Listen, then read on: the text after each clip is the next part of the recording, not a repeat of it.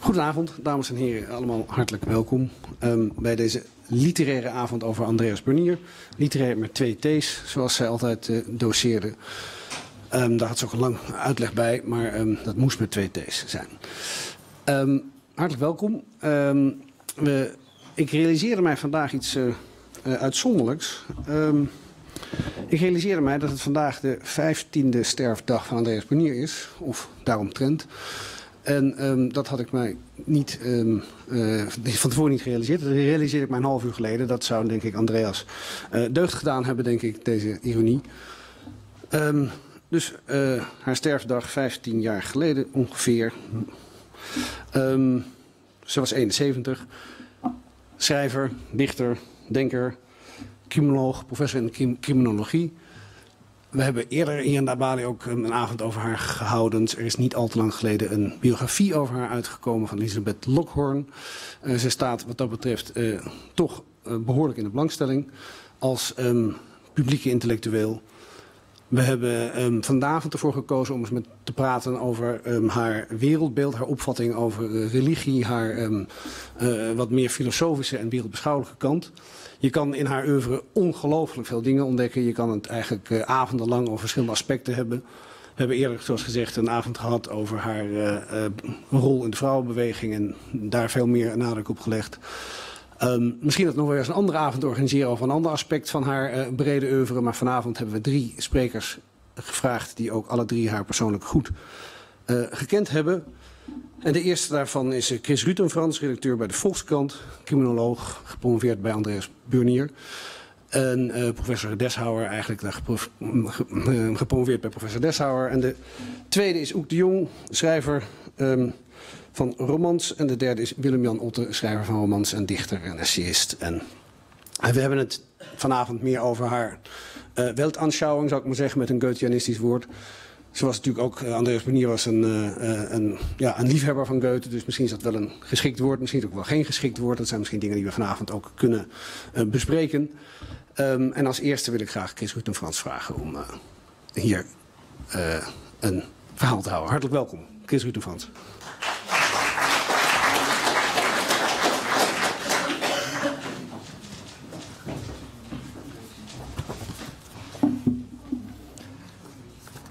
Dames en heren.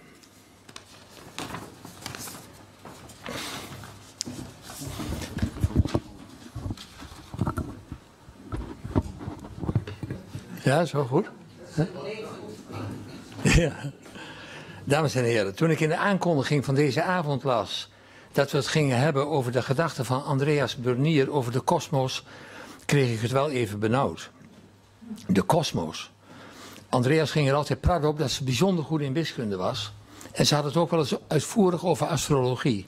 In het trant van, de kreeft is nogal huiselijk aangelegd. En dat, zij was dan kreeft en helemaal niet huiselijk aangelegd. Maar over astronomie, over de kosmos heb ik haar geloof ik nooit gehoord. Maar toen zag ik iets verderop dat het ook over het hogere moest gaan. En toen begreep ik het ineens. Het is tegenwoordig nog moeilijker uit te leggen dan in de jaren tachtig van de vorige eeuw. Maar Andreas Burnier zag de mens als een geestelijk wezen. Als een wezen dat afkomstig is uit een goddelijke sfeer, waar het na een betrekkelijk korte tijd in dit aardse tranendal te hebben doorgebracht, weer naar zal terugkeren. Het mooist heeft zij dit beschreven in het intro van haar roman De Literaire Salon uit 1983. wil ik even graag voorlezen. Altijd als ik een bepaald soort eenvoudige romantische pianomuziek hoor, moet ik denken aan een kind tussen de vijf en zeven jaar oud in een donkere salon. De volwassenen hebben bedacht dat het goed is voor zijn opvoeding dat hij piano studeert en zelf vindt hij dat ook. Of liever gezegd, om zijn opvoeding, zijn toekomst bekreunt hij zich nauwelijks. Uh, uh, hij zich natuurlijk niet, maar de muziek roept verre voorgeboortelijke hemelse herinneringen bij hem wakker. En hij denkt dat de volwassenen woordeloos dit weten. Het lijkt hem dat er een geheime, nooit uitgesproken verstandhouding is tussen hen, de grote mensen, en hem, het kind. Allen weten van het goddelijke gouden licht dat in strepen en flarden door de onpeilbare donkere ruimten gaat. Allen weten hoe je de herinnering daaraan kunt oproepen met enkele eenvoudige akkoorden en een goed in het gehoor liggende melodie. Allen weten dat hij een volwassen geest is, die tijdelijk, even, in een kinderlichaam is gevangen. De volwassenen begrijpen hem en het zijn de gouden strepen licht van de muziek die hem met hen verbinden. Dus zit hij in de donkere salon, met achter de glas in loodramen de herfstige schemering en oefent zoet aan de veel te grote vleugel. Zijn beentjes in de korte broek bungelen ver boven de pedalen en de grond. In het essay Het Joodse levensgevoel uit 1985 beschrijft Andreas haar levensopdracht als volgt. Via kleine stapjes vooruit en soms enorme smakken omlaag probeer ik in contact te komen of te blijven met het onbenoembare, waarnaar alle godsdiensten en esoterische systemen verwijzen, ieder op zijn eigen wijze en op zijn niveau. Het doel is uiteindelijk permanent in twee werelden te leven en anderen te laten delen in het licht dat je ervaart. Met die twee werelden bedoelden ze de geestelijke wereld en de lichamelijke wereld. Met het onbenoembare bedoelden ze de goddelijke kern die elke mens in zich heeft. Ze heeft zich bij die levensopdracht in de loop van haar leven laten inspireren door verschillende godsdiensten en levensbeschouwingen. Volgens mij achtereenvolgens door de antroposofie, de Jungiaanse psychologie, het boeddhisme en hindoeïsme en uiteindelijk het jodendom. Ik leerde als student criminologie Andreas Bunier kennen in haar, eh, plechtig gezegd, boeddhistisch-hindoeïstische periode. De tijd waarin ze bezig was met het schrijven van het Droom der Reden. In dat boek heeft ze geprobeerd om op een sociaal-wetenschappelijke manier inzicht te geven in de genoemde esoterische inzichten. In de loop van het jaar 1981 mocht ik hoofdstuk voor hoofdstuk het manuscript meelezen van dat boek. Ik was er diep van onder de indruk.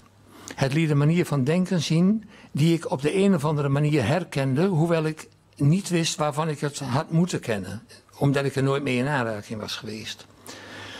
Dat het boek zo'n bevrijd, had, het boek had dus een zeer bevrijdende uitwerking op mij. En dat kwam misschien ook doordat ik eerst kandidaatsrechten had gedaan uh, in twee jaar en daarna even niet wist wat ik verder moest, maar vooral geen rechten. En toen kwam criminologie in zicht en dat werd door een schrijfster, uh, was, was daar hoogleraar, dus dat vond ik erg intrigerend. Maar het grootste verschil tussen beide studies was dat in de juridische wereld de fictie bestaat dat de mens vrij is. Dat moet wel, omdat hij anders niet verantwoordelijk kan eh, worden gesteld voor de overeenkomsten die hij sluit en voor het wangedrag dat hij pleegt. Dus je moet in ieder geval net doen alsof de mens vrij is. In de menswetenschappen, waartoe de criminologie behoort, is van zo'n menselijke vrijheid geen sprake.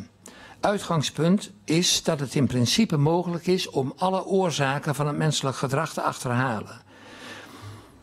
Iemand schreef in die tijd, een collega van mij, als we alle biologische, psychische en sociale factoren waaruit iemand is opgebouwd zouden kennen, zouden wij heel exact zijn volgende stap kunnen voorspellen. Dat wij die factoren en hun interactie nooit echt helemaal kunnen kennen, doet niets af aan het principe dat de mens volstrekt gedetermineerd is, dus niet vrij. Ik kon dat niet accepteren. We kregen in die tijd dus in het begin colleges criminologie van Andreas en werkgroepen sociologie, psychologie en sociale psychologie van wetenschappelijk medewerkers van het Criminologisch Instituut. Want wij, wij waren rechtenstudenten die even snel in die menswetenschappen ingevoerd moesten worden. Ik kan me nog herinneren dat ik een van hen volkomen wanhopig maakte door stug vol te houden dat misschien iedereen wel volstrekt gedetermineerd was door erfelijkheid en milieu, maar ik niet. en toen kwam de droom der reden en ik ervoer dat boek dus heel anders dan veel latere critici van dat boek als een enorme opluchting, omdat het nu juist dat determinisme bestreed. Een belangrijke stelregel van Andreas, die ook in dat boek voorkomt, is: de mens is de schepper van zijn eigen lot in haar uh, woorden van haar eigen lot. In de droom werden verschillende criminologische theorieën gerelativeerd door te laten zien dat ze op een heel specifiek beeld van de mens gebaseerd zijn dat nogal beperkt is. Je hebt bijvoorbeeld in de criminologie de differentiële associatietheorie. En die zegt mensen worden crimineel wanneer ze meer in aanraking komen met mensen die crimineel gedrag als positief definiëren, dan met mensen die crimineel gedrag als negatief definiëren. Dus een soort. Uh, de mens is een, een, een soort biljartbal die in een bepaalde hoek geschoten wordt, afhankelijk van de kracht van degene die hem uh, met een keur raakt. Andreas liet zien dat er inderdaad allerlei innerlijke en uiterlijke factoren op je inwerken, maar dat je die als mens, althans voor een deel, kunt kennen en dus kunt leren beheersen. Hoe meer je je bewust bent van de jou bepalende factoren, des te vrijer je bent van de invloed van die factoren. Je hebt niet alleen verstand en gevoel, maar ook een wil, die je kunt trainen. De wil vond ze de meest onderschatte psychische functie in onze tijd. Zowel inzicht als wilskracht kunnen je, kun je trainen en kunnen je vrijmaken. En daarvan kun je althans deels, daarmee kun je althans deels je eigen lot bepalen. Maar de droom der reden behelst veel meer dan dat alleen. Het is ook en vooral een geschiedenis van de filosofie die begint met de Vedische geschriften van 1500 voor Christus in India tot de wetenschap van nu. Het beeld dat de mens van zichzelf heeft verandert geleidelijk van heel gedifferentieerd en bijna uitsluitend gericht op kennis van de psychische binnenwereld tot uiterst eenduidig en vooral gericht op kennis van de buitenwereld. Benier illustreert die ontwikkeling, die ze beschouwt als een spirituele verarming, een voortschrijdend gebrek aan zelfinzicht, aan de hand van de geschiedenis van de filosofie en vanaf de 19e eeuw aan de hand van de menswetenschappen. Die menswetenschappen worden gedomineerd door haar drie boosdoeners, Darwin, Freud en Marx. En die zien de mens als een zuiver materieel wezen dat alleen maar bezig is met overleving, Darwin, lust, Freud of macht, Marx. Deshouwe verwijt hen dat zij het bewustzijnsniveau waarop hun theorieën betrekking hebben als het enige echte beschouwen. Maar de yoga-filosofie en ook het boeddhisme onderscheiden zeven bewustzijnsniveaus. En ook die drie, dus ook overleving, lust en macht. Maar daar komt er nog één bij, compassie met anderen. En nog één hoger, uh, religieuze introversie, oftewel mystiek. Dan nog één, uit liefde geschonken wijsheid. En als laatste, mystieke eenwording met het goddelijke, het onbenoembare. Zoals ik in het begin zei, Andreas ideaal was te leven in twee werelden. De aardse wereld en de geestelijke wereld. Ze zei wel eens dat haar favoriete dier, ze had ook altijd een favoriete boom trouwens, een favoriet dier. favoriete dier was een flamingo, een schitterende hemelse vogel die met beide poten in de aardse modder staat. Ze hield zich bezig met het onbenoembare, maar bond ook heel prozaïs de strijd, aan met de aanvaarding van euthanasie in Nederland. Ik heb beide aspecten van haar meegemaakt. Maar het belangrijkste dat ik van haar heb geleerd is dat je in principe vrij bent. En dat je jezelf steeds vrijer kunt maken door los te komen van de krachten die op je inwerken. Die vrijmaking kun je op verschillende manieren langs verschillende wegen bereiken. In de periode dat ik het meeste met Andreas omging, stonden bij haar meditatie en verinnerlijking voorop. Maar er zijn ook andere manieren waarop je je kunt bevrijden. Bijvoorbeeld door gewoon de uitdagingen die het leven aan je stelt tegemoet te treden. Je zou kunnen zeggen dat verinnerlijking, terugtreden uit de wereld en het verbreken van de gehechtheid aan het leven de Oosterse, meer boeddhistische manier is om in contact te komen met het onbenoembare. De westerse manier is meer om de confrontatie met het leven en de wereld voluit aan te gaan. De Turks-Nederlandse schrijver Erdal Balsi schreef afgelopen dinsdag in zijn column in de Volkskrant, een hele mooie zin. Identiteit is wat er na het slagveld dat het leven heet van je is geworden. Hij gebruikt de term identiteit hier omdat hij kritiek heeft op degenen die hun identiteit ontlenen aan het collectief waartoe ze denken te behoren. Balsi verwerpt dat. Hij kiest voor de vrijheid van het individu. Dat was ook de diepste drijfveer van Andreas Bunier. Dank u wel.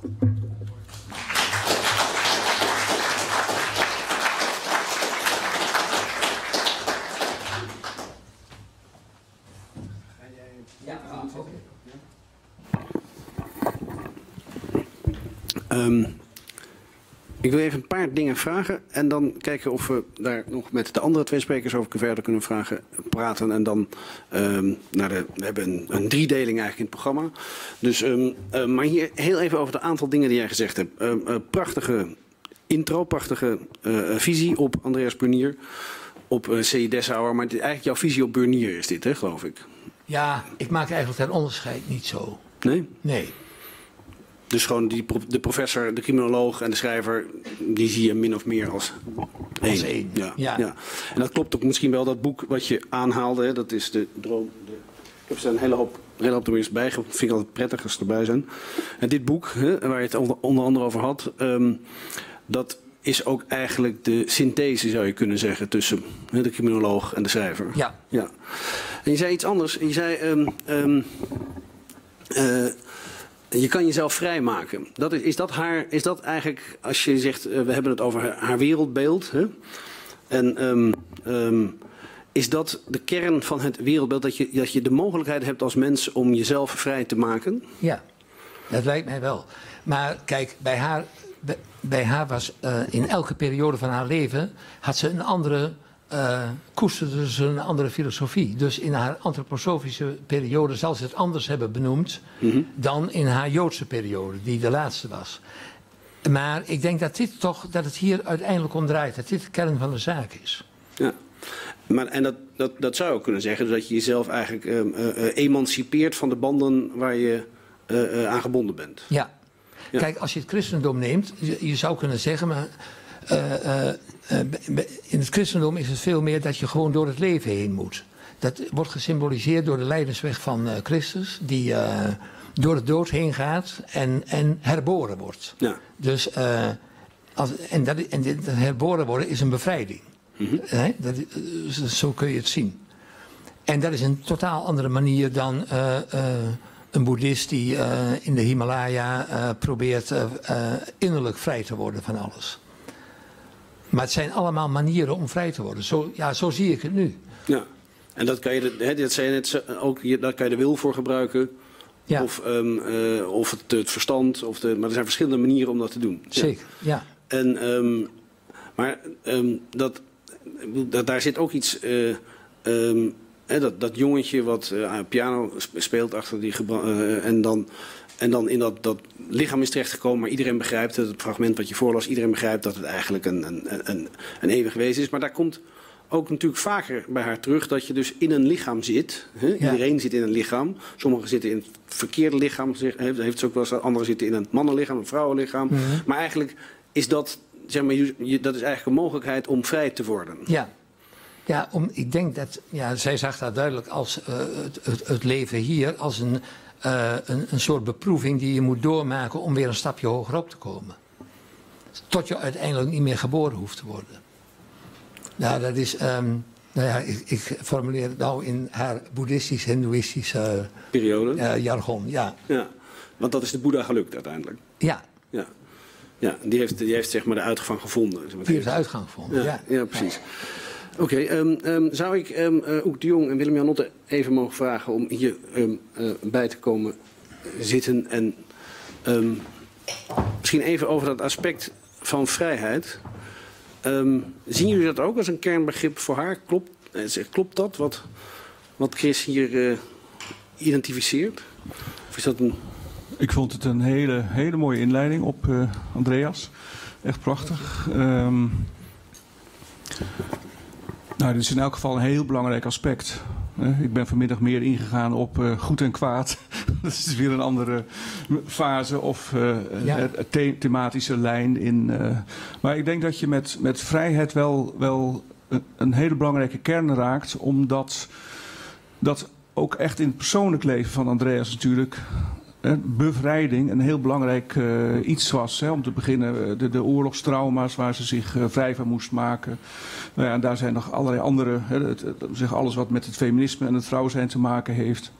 Dus ik denk dat het ook heel sterk geworteld is in haar persoonlijke bestaan. Dat het niet alleen maar een, um, een wijsgerige opvatting over het leven was. Maar dat hij een hele acute aanleiding had in, in haar eigen leven. Ja, dat denk ik ook. Dat bleek ook heel duidelijk uit die uh, biografie van Elisabeth Lockhorn, uh, metselaar van de wereld. Dat dus die periode die wij, die onderduikperiode die ze beschreven heeft in, in uh, het jongensuur, ja. die blijkt in werkelijkheid, als je de biografie leest, nog veel erger te zijn geweest dan in dat gestileerde boek. ja.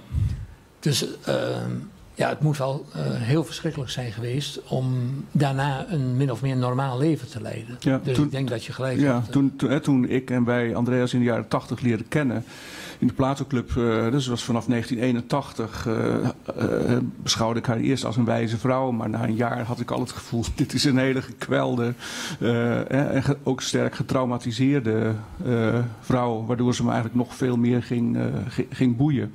Maar ook op die leeftijd denk ik dat be bevrijding of innerlijke bevrijding, dat dat voor haar een hele grote rol speelde. Ja. Toen was ze al 50. Ja. Maar je zegt, um, je zegt ja... Um Um, het is niet alleen maar een filosofisch uh, concept, hè, um, maar het is ook diep gevoeld. Um, nou, daar, daar begint het. Hè? Je kunt je, er zijn natuurlijk ook denkers die, uh, die, die prachtige, prachtige gedachten ontwikkelen. Waarbij je, uh, dat stoort mij altijd in veel uh, filosofie, dat je nooit een relatie met de achtergrond kunt zien. Hè? Waar komt het vandaan? En het interessante van Andreas was ook, en ook door die, in die zeven jaar Platoclub die wij hebben, hebben meegemaakt, dat dat nu eens een filosoof was waarbij je gewoon heel direct die relatie kon zien met, met haar eigen bestaan. Andreas was gereserveerd en had Haagse manieren, maar het was tegelijkertijd heel openhartig uh, je, je, hoorde veel over wat ze had uh, meegemaakt. Dus je kon de relatie tussen wat ze, wat ze verkondigde en wie ze zelf was, kon je heel duidelijk zien. Maar dat vind je een compliment, hè, denk ik. Neem ja, dat, vind, ik, dat vind ik echt heel belangrijk. Ja. Dat een, dat een uh, zeg, uh, Cioran, dat is een van mijn 20e eeuwse favorieten. Een van de weinige filosofen waar ik echt iets mee kan. Mm -hmm. Dat is ook dus de grote Roemeense Franse pessimist. Um, bij Sioran kun je ook gewoon heel duidelijk zien hoe datgene wat hij zegt um, verbonden is met zijn leven, met zijn achtergrond. En ik vind dat ook belangrijk, omdat je daardoor uh, datgene wat iemand zegt kunt relativeren. Dus bij Andreas kun je, laten we zeggen, allerlei overdrijvingen en ook wat onzin die ze af en toe, voor mijn gevoel, te berde bracht, want het was een wilde vrouw. Um, uh, je, maar je kon dat allemaal verbinden met die persoon en daardoor werd dat heel levend en boeiend wat ze, wat ze vertelde.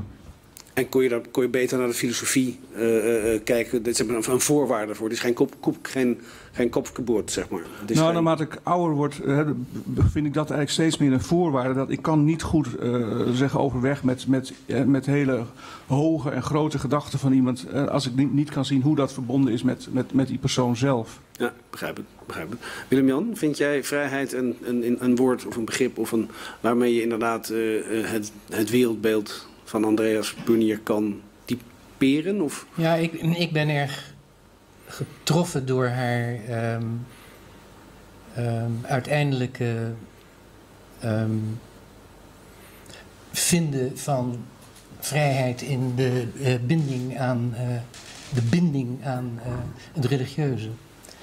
Dus ik denk dat, en ik zie dat als dat gebeurt in, het laatste, in die laatste tien jaar van haar leven, dat vaak de termen waarin ze dat beschrijft, dat proces van, uh, van, uh, van binding aan de Joodse uh, geloofsgemeenschap, dat mm -hmm. is het toch uiteindelijk, um, met alle opstand tegen de gebruiken die er dan ook, waar, waar, ze aan had te gehoorzamen en die ze heeft proberen te verwrikken, et cetera. Um, ik, ik heb het gevoel dat ze vaak over die laatste vervulling, zou ik bijna zeggen, van haar vrijheidsdrang in binding. Dat is een, raar, een rare pa pa paradox. Uh, is blijven schrijven in termen, in emancipatorische termen, alsof, ja, het, alsof je al denkend bevrijding, uh, je teshuva, al uh, bijna filosoferend je teshuva kunt bereiken, terwijl het in werkelijkheid. Dat is, dat is je inkeer naar het Je inkeer naar je thuiskomst, je, je, hoe noem je dat? Je, je Terugkomst. Ja, ja. ja. Terwijl, terwijl, wat ze ook beschrijft is dat, dat het, uh, wat, wij als, wat ik als katholiek uh, uh, zou zeggen, er sprake is geweest van de genade van, van, de, van, van, van een soort overgave mm -hmm. aan, aan, de, aan de rituelen en de, en de enorme ontroering van thuiskomst en geborgenheid die, en, en, en aanvaarding, levensaanvaarding, die haar dat bezorgd heeft. Dus voor mij is het woord vrijheid is altijd kwestieus. Ehm, ik vind, ehm, is, is haar, zijn haar opvattingen over ehm, euthanasie of over. zijn, zijn die nou een, een, een, Is dat nou. Ja, hoe vrij ben je als je die, opvat, als je die opvatting huldigt? Je vraagt je af of dat eigenlijk, of de, of de drijfveer... Hebben we wat, heb, ik, heb dan, ik heb dan mhm. niet zoveel aan, aan het filosofische begrip vrijheid dan op dat Oké, ja, dat, begrijp, dat begrijp ik heel goed. Het is meer gebondenheid aan bepaalde, uh, uh, misschien vrijwillige gebondenheid, maar een bepaalde... Ja, ja. Ik, ik zie, ik zie, ik, ja, ja. Ik zie dat eenmaal, die, die, die, die maar ik, ja, ik heb ook altijd een, een, een, een, zekere reserve over die fase, dat hogere fase gedenk. Eh, van haar, uh, waarbij, uh, waarbij je al denkend met mhm. grote filosofische krachtinspanning afdalend in jezelf en dat allemaal alsof dat, ja, alsof daar een, een, een, toch een soort rationaliteit aan ten grondslag ligt die je kunt afwikkelen, als het ware. En dat geloof jij niet, eigenlijk? Nee, nee, nee, Daar, dat is een kant van, en dat is een belangrijke kant van haar, mm -hmm. waar ik, uh, waar ik uh, um, zo nu en dan echt uh, over mijn over mijn kopslaaf van ergernis. Mhm. Oké. Ja. daar wil ik sorry nog, nog, nog wel wat, wat, ja. wat, wat Ja, en dat vind ik, eh, vind ik heel... En ik, het interessante vind ik dat het uiteindelijk een polariteit is gebleken te zijn. Omdat eigenlijk die, de, dat, dat, dat, dat gefaseerde, opgaande, uh, uh, platonische eh, als we ons nou maar omhoog redeneren en, en, en, en, en afdalend omhoog gaan, eh, dan, dan, dan, dan worden we vrij. Eigenlijk weersproken wordt door de laatste tien jaar van haar, van waar ze uitkomt. Ja, dat, dat noem ik even iets toevoegen, Jury. Ja, graag. Um, ja, ik denk dat, het, dat, ik denk dat het beter is om dat woord uh, vrijheid los te laten. En wat op te schuiven naar iets wat, naar bevrijding bijvoorbeeld. Dat zou mij al meer aanspreken. Je, had, je, je, hebt het over thuiskomst. Nou, dat, het, uit alles wat Andreas geschreven heeft, is wel duidelijk dat, uh, dat de terugkeer naar het Jodendom, dat dat een thuiskomst uh, is geweest. En uit hoe elkaar dat meegemaakt en wat, en wat ze schrijft, kun je ook gewoon concluderen dat dat een zekere mate van bevrijding in elk geval heeft, uh, heeft veroorzaakt. En ik denk ook dat ze um, in, dat, in het Jodendom, dat daar eigenlijk een dat leid ik dus weer af uit haar uh, Joodse essays, dat daar eigenlijk ook pas een echte balans is ontstaan uh, tussen, um, tussen, tussen het denken, de filosofie, de, de, um, de, religieuze teksten lezen en het doen. dus de rituelen en alles wat het Jodendom van, van, van, mensen vraagt. Dat vond ik vaak ontbreken in de jaren tachtig, dus dan wel een hoge gedachtenvlucht. Maar in het dagelijks leven zag je dan een. vond je daar heel weinig uh, van terug. Dus vond de nadruk veel te veel op dat denken liggen. Um, hè, en ook op, op wetenschappelijke termen, waar Andreas enorm mee uh, kon uh, smijten.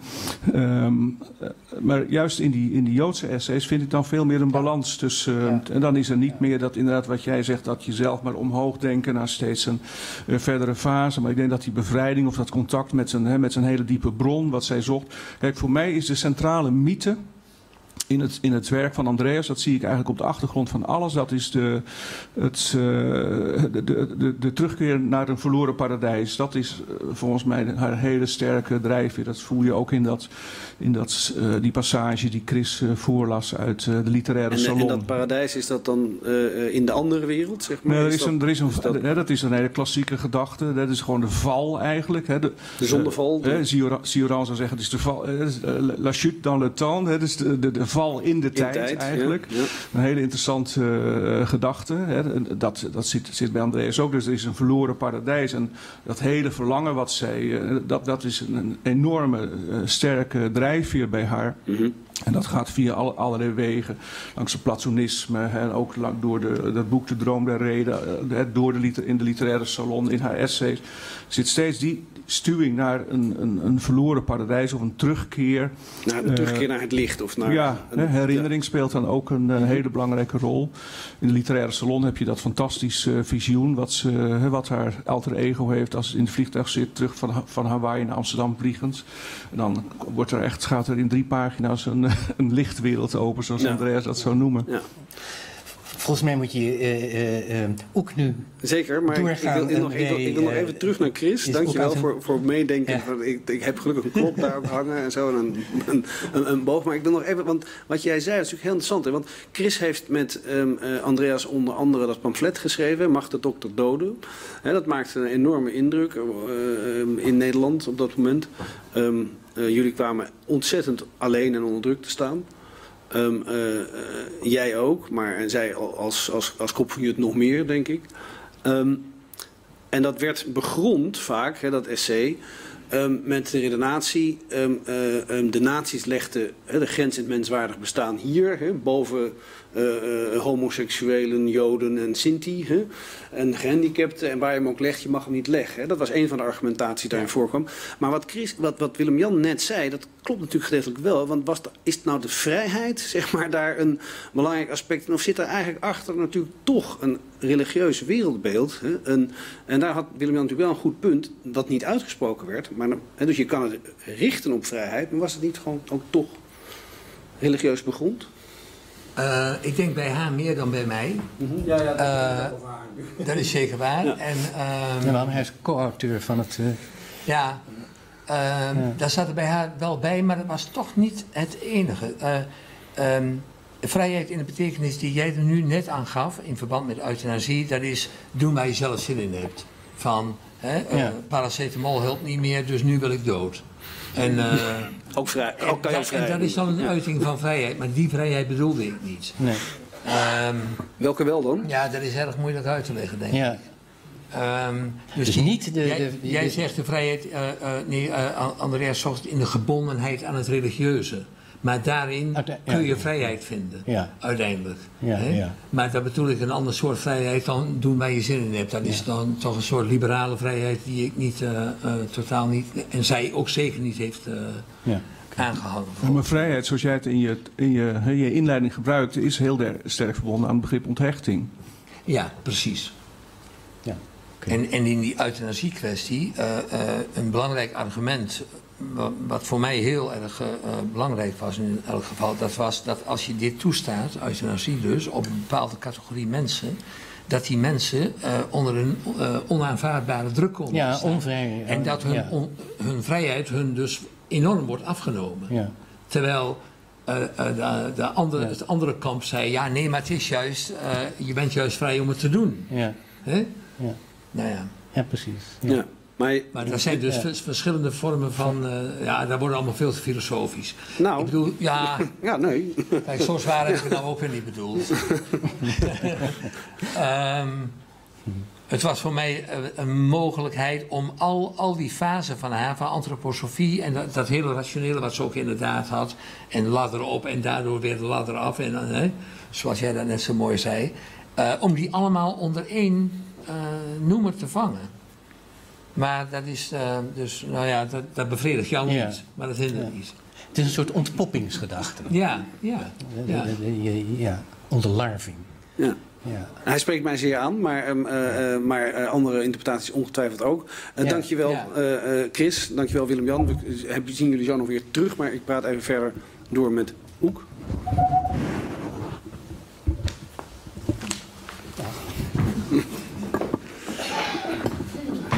Um, even um, um, doorpraten met jou ook over, uh, over het wereldbeeld van Andreas.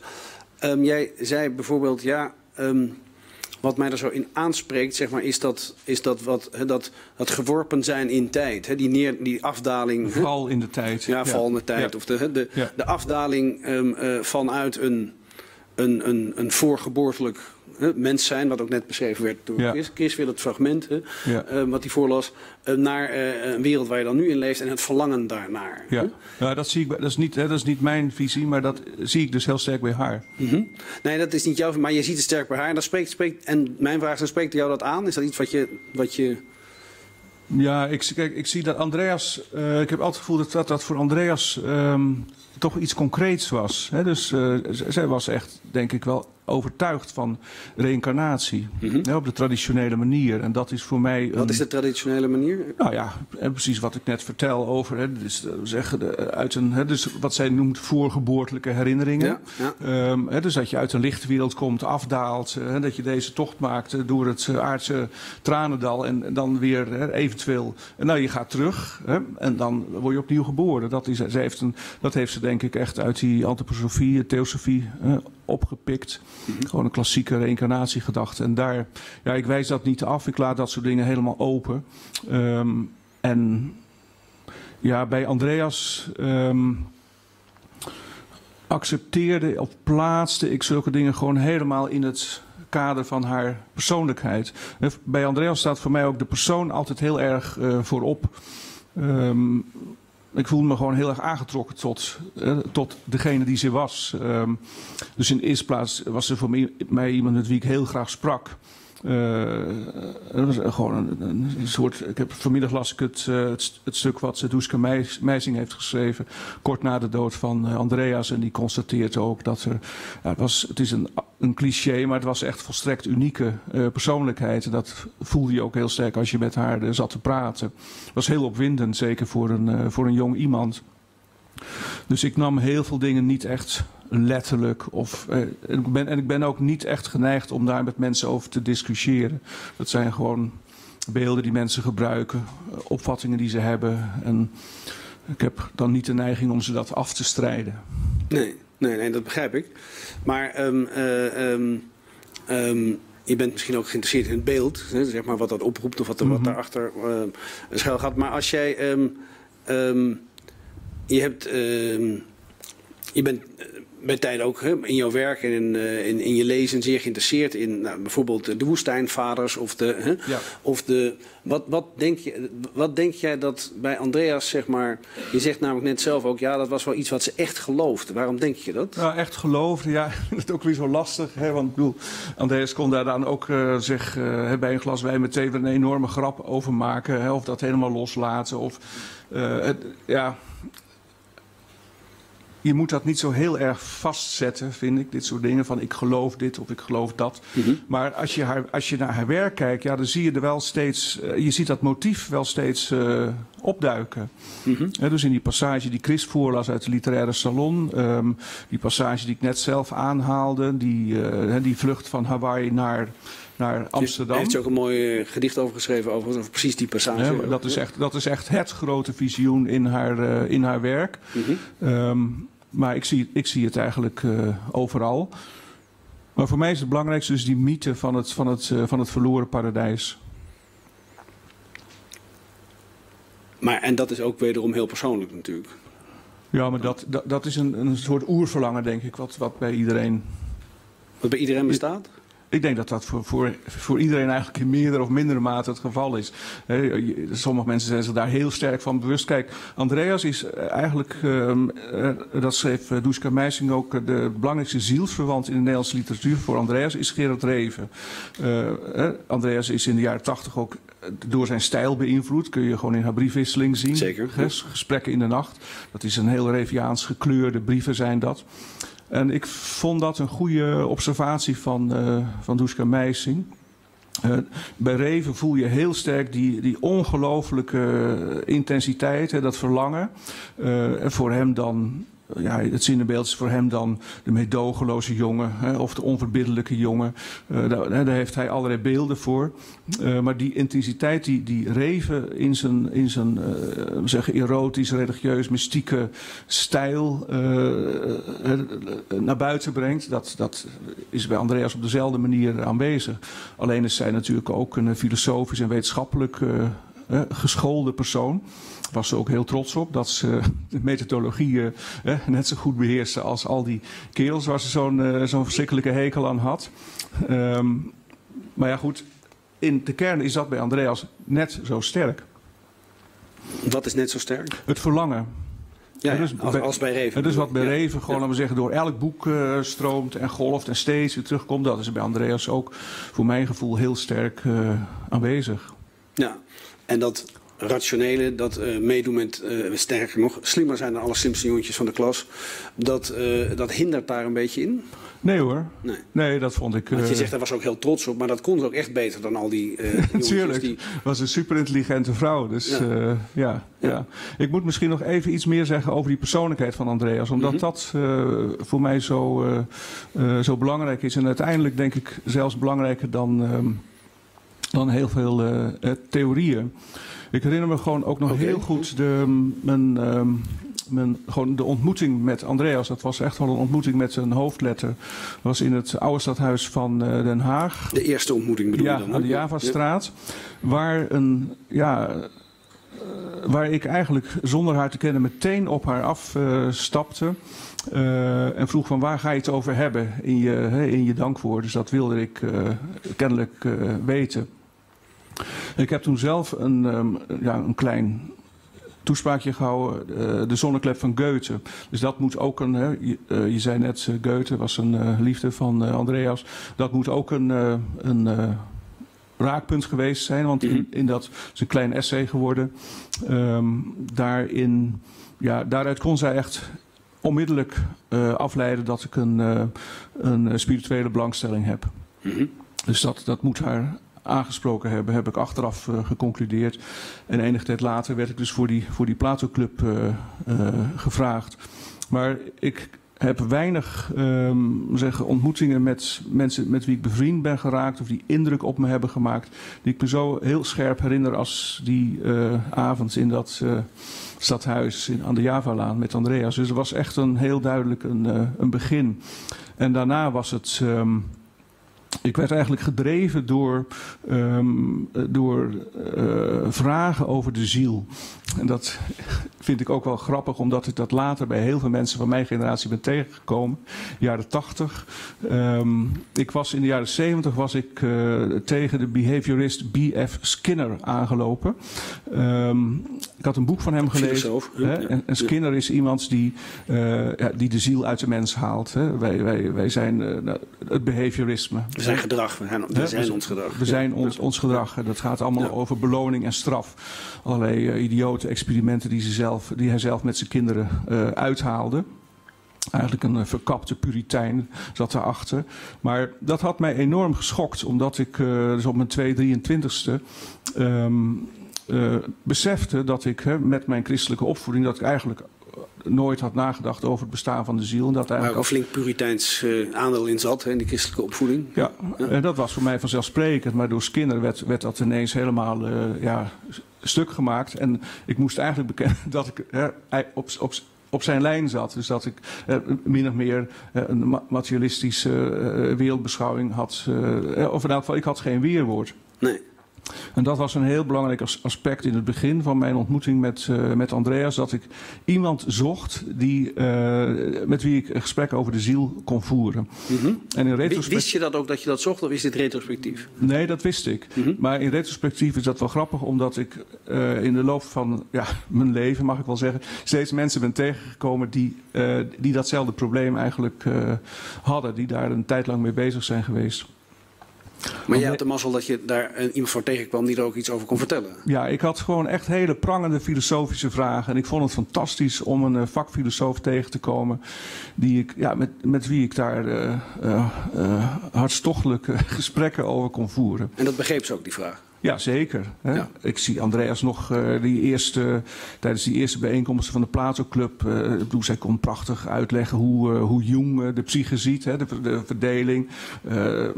ja, het is allemaal zielsbeelden kon zij eigenlijk kon, kon zij geven. Mm -hmm. Uiteindelijk loste dat voor mij niks op. ik heb het hele probleem op een gegeven moment losgelaten. Of liever gezegd, het is gewoon achter de horizon verdwenen. Maar dat was eigenlijk mijn, mijn um, nou, het begin eigenlijk van, van mijn gesprek met, uh, met Andreas. -hmm. Je zegt, um, zij begreep kennelijk dat ik een, een, een, een interesse had in spiritualiteit. Dat uh, woord gebruikt hier, maar zij zegt zelf over zichzelf bijvoorbeeld... Um, ja, ik, ben een, ik heb een magisch wereldbeeld, maar ik, ik, ik ik zoek naar het mystieke. Dus je zegt, je kan allerlei mensen indelen naar magiërs of mystici. Hè, eh, veel literaire um, figuren ook. Maar ze zegt, ik ben een magier, maar ik ben eigenlijk altijd geïnteresseerd in het mystieke, want daar ben ik naar op zoek. Ja. Nou, dan waren wij dan, hadden we, dat waren wij die twee polen. Want ik ben inderdaad meer in het, in het mystieke geïnteresseerd dan in het magische. Ja. En ik ervaar de wereld ook Andreas ervoer de wereld ook magisch. Um, en dat, dat is, ja, ik werk natuurlijk ook met, met, met magie in mijn werk, maar voor mij leeft dat veel minder sterk. Ja, ja maar, maar, maar die ziel die zit daar een beetje tussenin natuurlijk eigenlijk. Ja, ja, ja, misschien was de ziel eigenlijk, maar ook, bedenk ik nu hoor, misschien was het eigenlijk gewoon een, een zeggen, niet meer dan een beeld om een, om een, ja, meteen een bepaald soort gesprek op gang te brengen, waardoor ik echt uh, kon doorstoten naar een hele diepe liggende uh, problemen. En de ziel is daar dan het woord, uh, ja. het was daar dan het begrip voor. Problemen die ja. wel tegen de filosofie aanliggen, maar gedeeltelijk ook dieper zijn. En wel tegen de psychologie aanliggen, maar gedeeltelijk dieper zijn. Ja, gewoon religieus wijsgerige thema's. Ja. En via, en via, die ziel, misschien, zo denk ik nu hoor, misschien was dat eigenlijk gewoon de aanleiding dat ik via die ziel eigenlijk in dat veld uh, terecht kon komen. Want je moet natuurlijk ook beseffen dat in de jaren tachtig. Ja. Um, Dit was begin jaren tachtig. Uh, ja. Begin jaren tachtig uh, kon je daar eigenlijk nauwelijks met iemand over spreken. Dat, um, we hadden de jaren 60 en 70 achter de rug. Dus de secularisatie was in volle gang. Dat afzetten was min of meer afgelopen. En er viel een enorm gat. waar Kellendonk ook bij hoort natuurlijk met zijn gedachtenwereld. Um, Willem-Jan is daar later uh, mee, mee, mee aan het werk gegaan. Uh, maar in de jaren tachtig was er, was er een, wat dat betreft denk ik echt een uh, leegte in de, in, de, uh, in de Nederlandse cultuur. Er waren heel weinig mensen met wie je daar over van gedachten kon wisselen. Dus die platenclub was echt een enorme uitkomst ook voor mij. Naast Andreas en, en de jongens in de platenclub kende ik alleen Frans Kellendonk met wie ik een, een, een soortgelijk gesprek kon voeren. Waarin dus eigenlijk waarin geen vooroordelen waren en waarin alles open lag en alles bespreekbaar was. Ja, want je zegt een gat. Een gat klinkt als ruimte, maar was natuurlijk geen enkele ruimte in de jaren tachtig. Nee, het was juist taboe.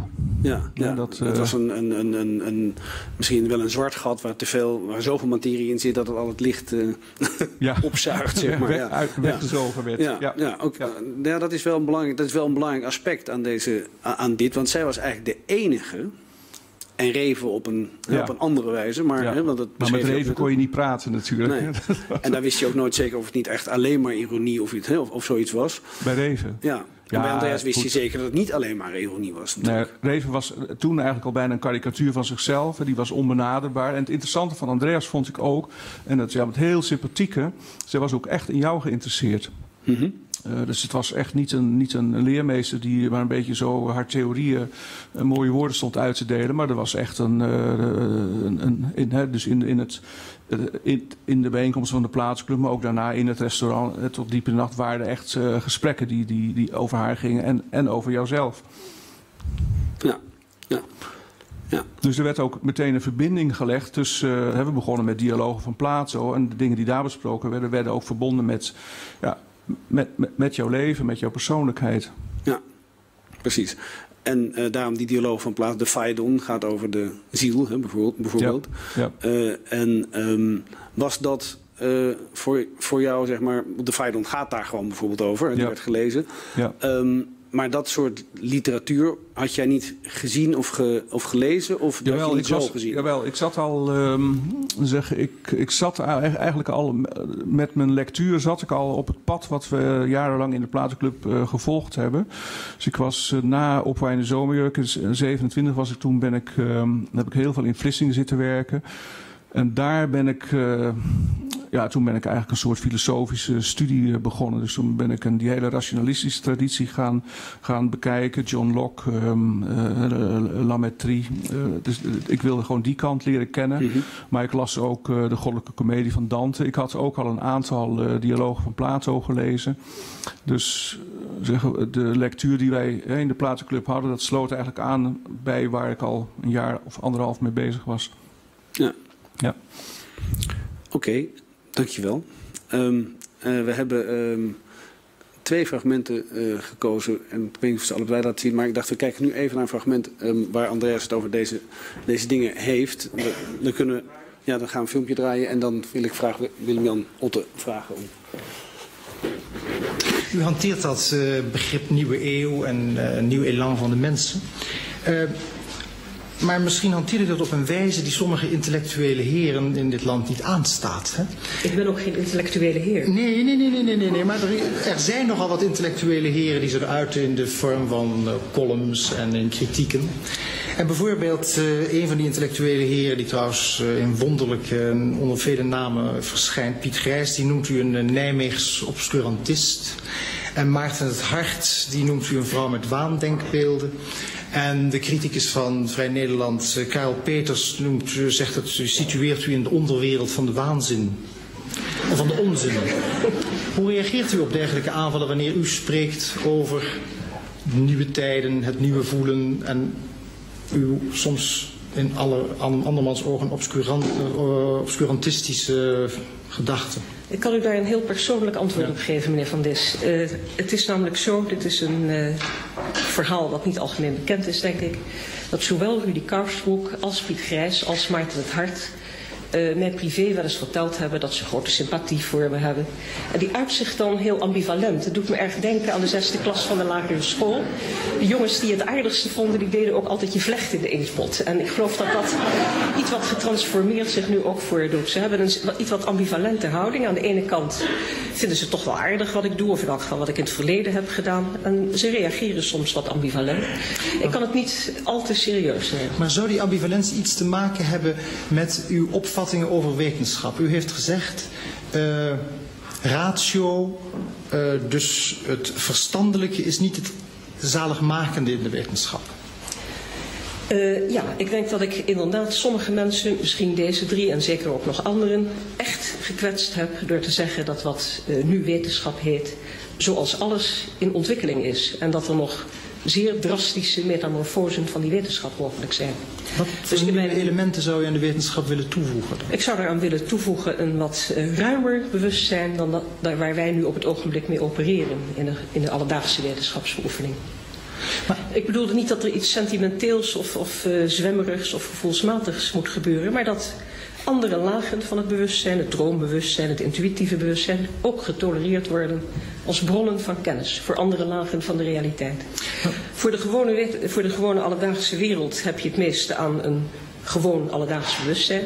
Ik loop ook graag over een brug die door een gewone ingenieur is gebouwd. Maar als je iets van psychologie wilt gaan begrijpen of nog van andere fenomenen, dan moet je ook andere kenbronnen toelaten. En ja, dat, uh, die wijsheid gaat er moeilijk in bij veel Nederlandse heren. Willem, mag ik jou hier plaats te nemen? Doe jij dat? Ik doe het maar doe, dat doe je liever. Ja, dat lijkt mij. Hou vast.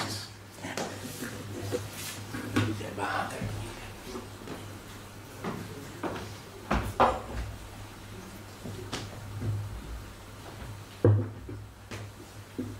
Um, dankjewel, nee hoor, dank je, het gaat gezond.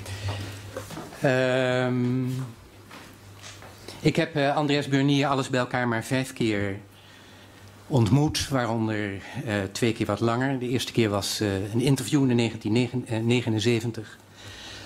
Um, en de laatste keer was ook wat langer toen ze... Ik was toen bij de Plato Club.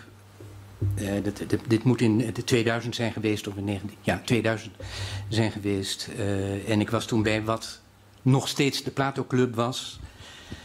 Uh, gekomen als laatkomer, als de allerlaatste uh, uh, nieuwe lid. en, en daar ma maakte Andreas al heel lang geen deel meer van uit, maar zij, haar schaduw of haar licht um, was nog altijd voelbaar, smulde nog altijd in de, in de club. En dat zijn de twee langere keren dat ik haar echt gesproken heb.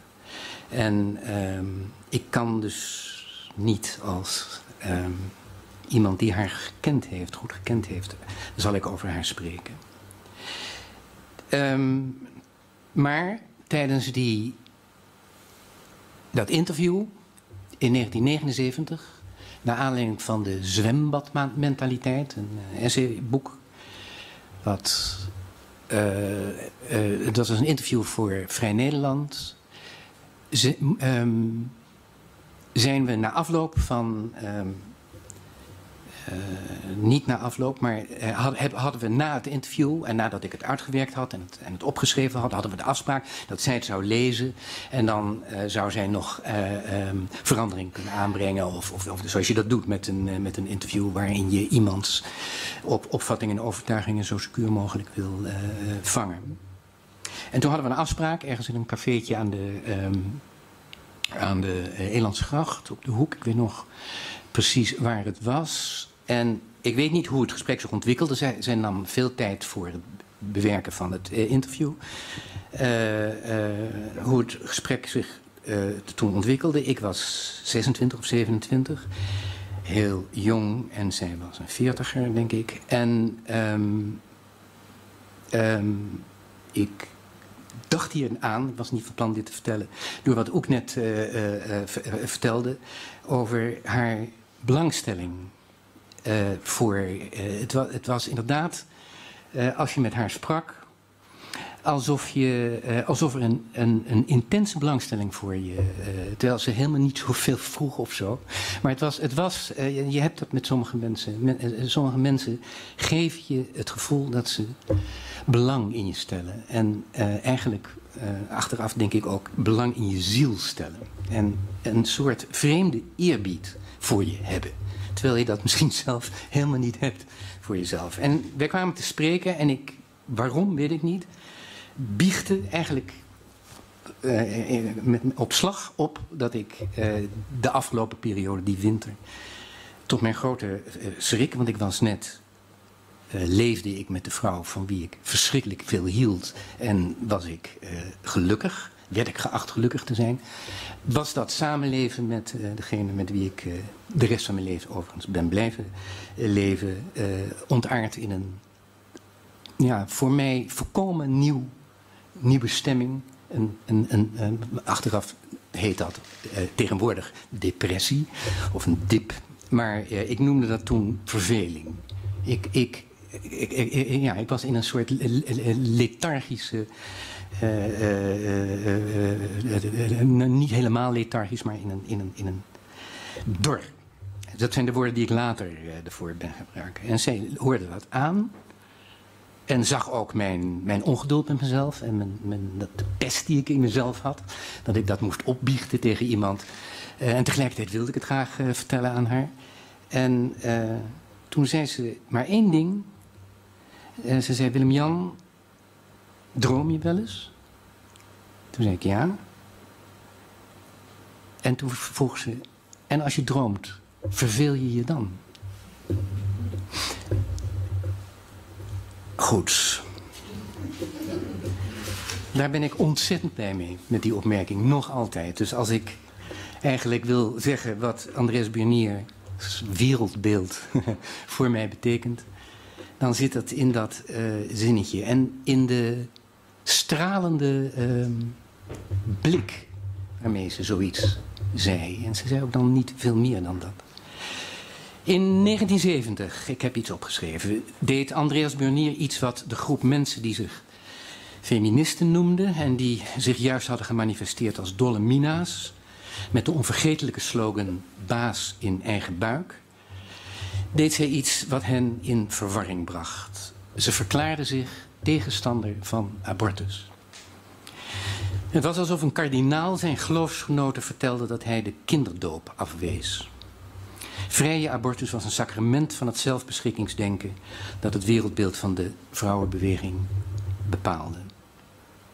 De aanstoot die Berniers afwijzing veroorzaakte in haar bondgenotengroep had een speciale hittegraad. Dit was des te opmerkelijker omdat zij helemaal niet had gezegd dat abortus verboden moest worden.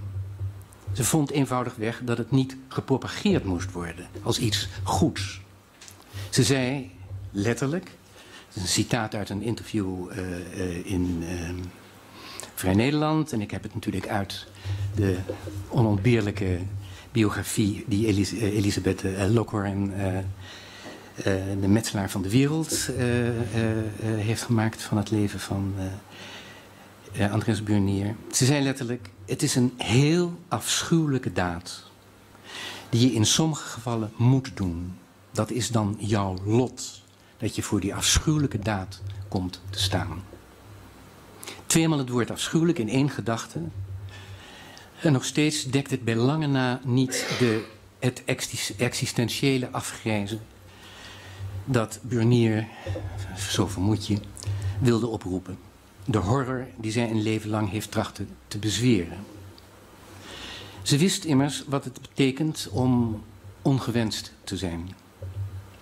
Tussen haar elfde en haar veertiende heeft er een prijs op haar leven gestaan, omdat ze Joods was. Wie het jongensuur heeft gelezen, misschien haar mooiste proza, het is een boek waar ik van hou, weet dat zich in die onderduikjaren, ze is op 16 verschillende adressen terechtgekomen, dat is iets wat Elisabeth Locker naar boven heeft gekregen. In het boek zijn het maar vier verschillende adressen. Uh, wie het jongensuur heeft gelezen, weet dat ze zich. Uh, uh, weet dat, dat zich in die onderduikjaren ook haar besef in een vreemd, want vrouwelijk lichaam geboren te zijn, zich heeft ontwikkeld. Dat als haar hardhandige voorjaarsontwaken, vreemd in haar lichaam, ongewenst in haar samenleving. Fundamenteel en tweezijdig displaced. Later zou ze schrijven: Het is een voorrecht te worden geboren in een onderdrukte groep. Voor iemand die behoort tot de heersende kasten is het moeilijker om tot enig inzicht te komen. Heersende kasten. Waar zij, om zo te zeggen, mortaal gevoelig voor was. Dat was voor heersende gedachtes. Dat wil zeggen, gedachtes die mensen ontwikkelen om te kunnen beslissen over leven en dood. Baas in eigen buik is zo'n gedachte. Het was een heersersgedachte, een soevereiniteitsfantasie die, zo profiteerde Bernier, het realiseerde feminisme in een masculinisme zou kunnen doen ontaarden. En daar bedoelde ze mee in een fascisme. En dat is de oorzaak van de hitte die ze veroorzaakte. Niemand wil horen dat zij of hij in een wereldbeeld verstrikt is geraakt, dat eenmaal gerealiseerd onmenselijke gevolgen zou kunnen hebben. Tegen jezelf indenken, het is geen sinecure. En dat is wat ze in feite deed met die opvatting over abortus.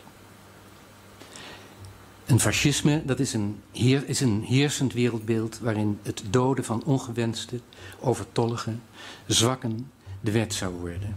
Zoals dat tijdens haar voorjaarsontwaken in de onderduik was geweest. Iets meer dan 15 jaar later formuleerde zij met zo mogelijk nog grotere consternatie als gevolg haar afwijzing van euthanasie. Het sluitstuk van het autonomiedenken of van het zelfbeschikkingsdenken. Het essay waarmee zij dit deed is onder de titel Mag de dokter doden de wereld ingegaan. En weer als de hitte groot. Ditmaal niet zozeer in een bondgenotengroep als wel in de neoliberale groegemeente waartoe de meeste randstedelijke dag- en weekbladen en het levendeel van de publieke omroepen waren gaan behoren. Bernier betwijfelde opnieuw de grondslag van het zelfbeschikkingsdenken, zodat het vooral, zoals dat vooral in wat zij noemde de kerk van de reden, waarmee ze vooral de NRC bedoelde, toen in zijn gloriejaren, toen in eh, zijn gloriejaren, zoals dat daar werd vertolkt. Ze vroeg zich af of de doodwens van euthanasievragers wel per definitie autonoom is, zoals voorstanders beweren. Ze stelde vast dat een ieder een ander tot euthanasieverlangen kan brengen, door gebrekkige behandeling en gebrek aan aandacht, om van misdadigers, misdadiger intenties uiteraard maar te zwijgen. Ze vreesde dat de euthanasiepraktijk op den deur zou kunnen resulteren in een soort doodstraf op termijn, en wees op de irrationaliteit van toen al veel aanvragen. En weer voelde je dat haar vaak zeldzaam polemisch getoon zette onbehagen, werd geïnformeerd. Dat is een woord waar ik van hou, zoals een Engelstalig being informed by het zo handig zeggen. Um, dat haar onbehagen werd geïnformeerd door haar onderduikervaringen. En vooral door de naoorlogse golven van depressie die er het gevolg van waren geweest. Ervaringen van zielsmisplaatstheid, van opperste eenzaamheid, van zelfmoordfantasieën en pogingen. Ze wist wat dood willen was en kon zich afvragen wat er met haar gebeurd zou zijn als zij in haar adolescentenperiode van al maar zakkende moed in een omgeving had verkeerd waar een enthousiasme had geheerst voor de gedachte dat de dood een oplossing voor het leven was. De respons van de samenleving op de Thanatische, dat was haar troetelwoord in die tijd. De respons van de samenleving op de Thanatische hulpvraag vraag, zou aandacht, liefde, hulp, palliatieve zorg moeten zijn. Haar bondgenoot en mede-auteur van Mag de dokter doden, Chris Rutefrans, zou het is een beetje raar om dat zo op te schrijven terwijl je daar zit. Sorry. Haar bondgenoot, Chris Rutenvland, zou een welsprekende voorstander en propagandist later worden van onderzoek naar en verbetering van palliatieve zorg en van hospices. De, dat soort begrippen zijn in die discussie toen gemunt en opgekomen. En dat is, wat dat betreft, is het een van de zeer, zeer belangrijke discussies van, uh, uit onze ideeëngeschiedenis, eh, naoorlogse ideeëngeschiedenis geweest. Burnier zelf putte uit het gedachtegoed van Kubler-Ross, dat onverkort actueel is gebleven. Sterven is een proces wat bij het leven hoort. En nog weer een decennium later, toen ze een nieuwe aanstoot had weten te bewerkstelligen, ditmaal door te worden wat ze in haar onderduik had moeten verheimelijken, een verdonkere maning die haar tweede natuur was geworden, namelijk Joods, schreef ze het geven van stervensbegeleiding is een bijzondere mitzwa. Misschien wel de eervolste van alle mitzvot. Ook de Jong zegt in Elisabeth Lockhorns ehm, biografie dat niemand zo. Waar zit ook trouwens? Uh, oh, je zit achterin. Ehm, dat niemand. Misschien citeer ik het gechargeerd namelijk. Ook de Jong zegt in Elisabeth Lockhart's biografie dat niemand zo bang was voor het debiteren van haar diepste overtuigingen als Andreas Burnier. Ze stierf voor lezingen en debatten over de grote kwesties die zij aanging, duizend doden. Uit Oeks beschrijving krijg je de indruk dat uitkomen een vorm van bevallen was, alsof de waarheid met barensweeën komt. Of het nu om seksualiteit gaat of om opvattingen aangaande de grenzen aan de zelfbeschikking of om het nog fundamentelere besef in het Joodse godsverbond te staan. Als ik schatplichtig ben aan Andreas Burnier, dan niet zozeer aan haar, dat heb ik net ook al proberen te zeggen in het korte uh, discussietje, dan niet zozeer aan haar opvattingen en overtuigingen, niet zozeer aan haar wereldbeeld, maar aan het voorbeeld dat ze stelde. En net viel het woord persoonlijkheid. Aan de persoonlijkheid die ze was. Ze uh, luisterde, als ik, het, als, ik haar als ik haar persoonlijkheid goed begrijp, uh, naar haar innerlijke stem. Met eenzelfde aandacht als waarmee ze luisterde naar mijn verhaaltje toen ik uh,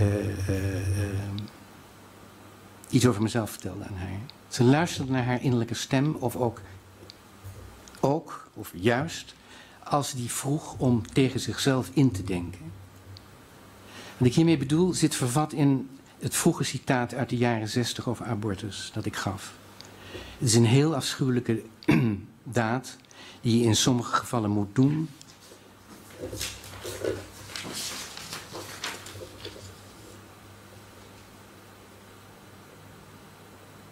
Um, ja. Het is heel erg spannend, was het. Maar hier kom ik niet uit. Ik, ga nog, uh, ik, ik, begin opnieuw met mijn uh, slot. Ik ben niet te schatten, te, te, te schatten schatplichtig aan Andreas Burnier. En niet zozeer aan haar overtuigingen of aan haar wereldbeeld. Maar als wel aan het voorbeeld dat zij stelde, haar zijnswijze. En net viel het woord persoonlijkheid, en dat is misschien eigenlijk het woord. Zij luisterde naar zichzelf als naar een stem. En ze luisterde des te scherper, zo leek het, naarmate die stem haar vroeg om tegen zichzelf in te denken, tegen de gemakken van het uh, zelfbeschikkingsdenken in, waar ze natuurlijk ook deel van uitmaakten. Dat kan niet anders. Je kunt niet een modern mens zijn en niet in die uh, spagaat van die twee zitten als je over alle twee, met alle twee te maken krijgt althans. Je zou, om met Kellendonk te spreken, kunnen zeggen dat ze een ongebruikelijke, voor onze tijd, in onze tijd ongebruikelijke eerbied had voor deze stem. Misschien wel zoals een zwemmer eerbied heeft voor grondzee. Hoe dan ook, iemand die zo probeert te luisteren, leeft in tegenspraak en is verwikkeld in een tragedie. Mijn gedachtegang is niet afgerond. Er moet meer te zeggen zijn over Berniers teshuva, haar religieuze thuiskomst en de tragische beproeving die een leven in tegenspraak is. En ook over het geheimzinnige verband tussen die twee. Maar ik heb het gevoel al enige tijd meer te zeggen dan ik denken kan. En wil eindigen met wat ik 15 jaar geleden vrijwel op de kop af, namelijk op 20 september 2002, in mijn dagboek heb geschreven. Het is dat dagboek verschenen in 2003 in boekvorm. Het was niet echt een dagboek, maar een dagboek wat ik bijhield om een boek te worden. Dat een echt dagboek zou anders geweest zijn. Um, onder de titel De bedoeling van verbeelding. De aantekening volgt op het horen van Jury per telefoon. Ik zat op Vlieland, uh, was daar aan het werk. Dat Andreas Burnier gestorven was. Je nog altijd ontzettend dankbaar dat je me toen opgebeld hebt. In de nacht van 16 op 17 september was ze gestorven. Dat is dus gisteravond, vannacht. En dat fragment gaat zo. En daar wil ik mee eindigen. En het boek eindigt ook met dat fragment, bijna. Een half jaar geleden zouden we met haar gegeten hebben bij Jury, maar we konden niet. Ik denk dat ik haar meer dan een jaar geleden voor het laatst heb gesproken. Zoals als ex-lid en stichter te gast bij de Plato Club. Ik heb haar van mijn hele leven een keer of vijf ontmoet. Altijd gesprekken met een inderdaad platonische intensiteit. Ze was een gelovende en heeft mij ervan overtuigd dat het om geloof gaat. Zelfs al was het van meet aan zeker dat ik niet van haar geloof zou worden. Ze zag mijn verlangen om in de katholieke kerk gedoopt te worden als iets praktisch. Ik moest toch ergens een ritueel onderdak vinden. Hier had ik tegenover willen stellen wat de kerk in feite voor me geworden is, maar dat gesprek hebben we nooit kunnen voeren. Ook over de menswording heb ik nooit met haar kunnen praten. Ik denk dat ik half bewust de kans op dit gesprek heb versmaad. Ze zocht lessen, daar was heel haar denken en schrijven op gericht en werd een leraar. De enige rabbi die ik serieus neem. Of de enige rabbi van Nederland die ik serieus neem, is Meijer. Iemand die je deed beseffen dat het een vlucht is wanneer je twijfelt aan het bestaan van je ziel. Ze geloofde hartstochtelijk dat de hare voor alle groei vatbaar was. Ik ben een grote wandeling gaan maken richting kop van het eiland. Een grote klipperaak ging vlak bij de val, waar de vaargeul bijna het strand raakt, overstag. Precies op het moment dat ik het duin over kwam lopen. Drie duidelijk onderscheidbare regenbuien. Tijdens de tweede keerde ik om en ik was de enige op het strand. Remember me, remember me, but ah, forget my fate. Waarom was ik bang om met haar over de menswording te praten? Met welke andere schrijver had ik dat beter gekund? Ik had eigenlijk de boot van kwart voor vier nog willen halen, om althans morgen naar de kerk te kunnen gaan, maar was tien minuten te laat. Morgen reis ik af om maandagochtend de begrafenis in Amstelveen mee te kunnen maken.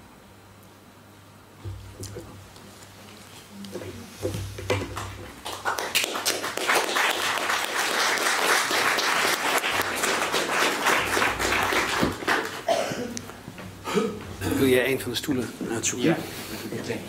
Ja.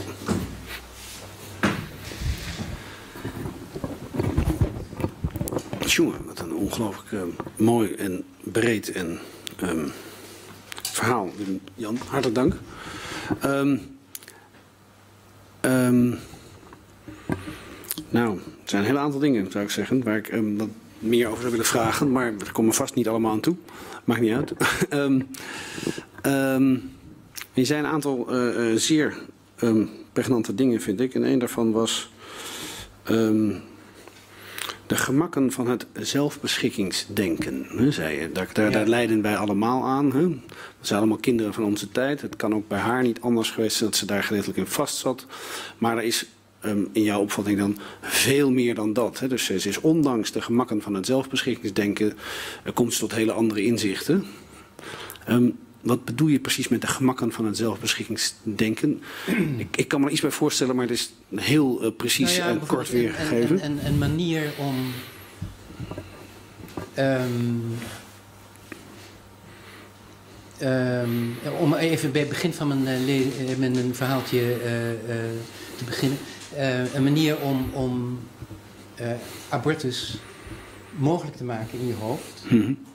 En, en eh, geloof me dat ik n- n- n- niet, niet, ehm, niet een leven heb geleid waar de, de, de, de mogelijkheid van abortus niet gespeeld heeft en, en, en uit, uitgevoerd had kunnen zijn.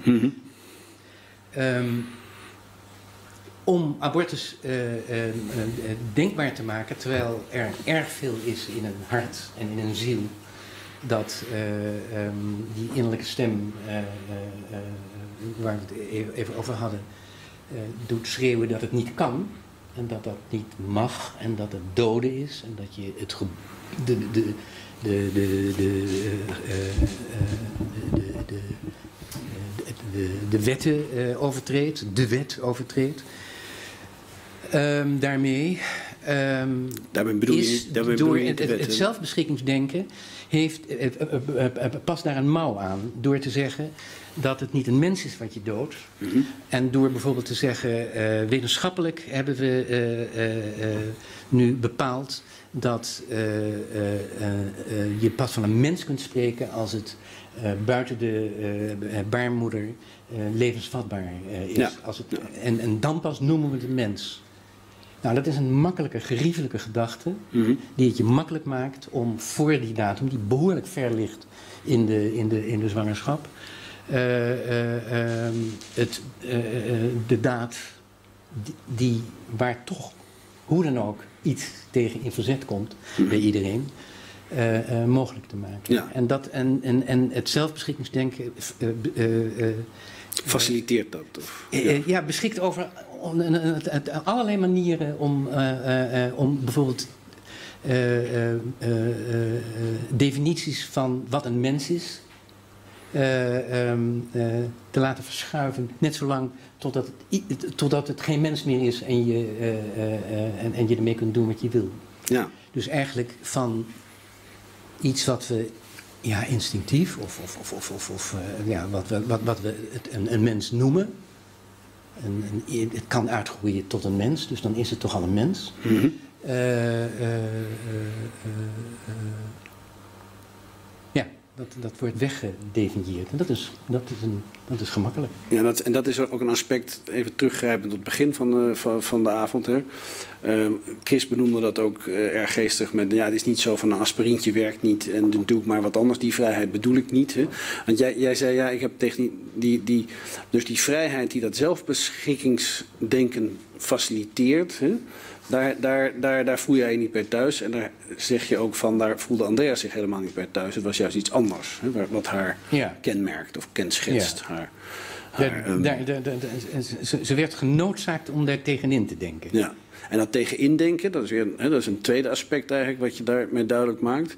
Dat vind je kenmerkend, hè, of ook voor haar, voor, voor haar, hè, voor haar Ja. manier van eh, filosoferen en over de Ja. wereld nadenken. Ja, Dat ze zelfs tegen zichzelf indenkt. ja. Ja, En een soort eerbied had voor wat dat. Ik, ik, denk, ik denk dat iedereen die gedachte heeft, maar niet iedereen luistert ernaar. Mhm. En sommige mensen hebben een uitzonderlijke, uitzonderlijk zintuig voor deze, eh, en een, ook een uitzonderlijke eerbied, eh, lijkt het wel, voor deze tegen, of eigenlijk voorstem. Mhm. Aandacht, hè, gebruikt hij het woord voor. En, ja, ja. En, En ze heeft natuurlijk, ja, ja.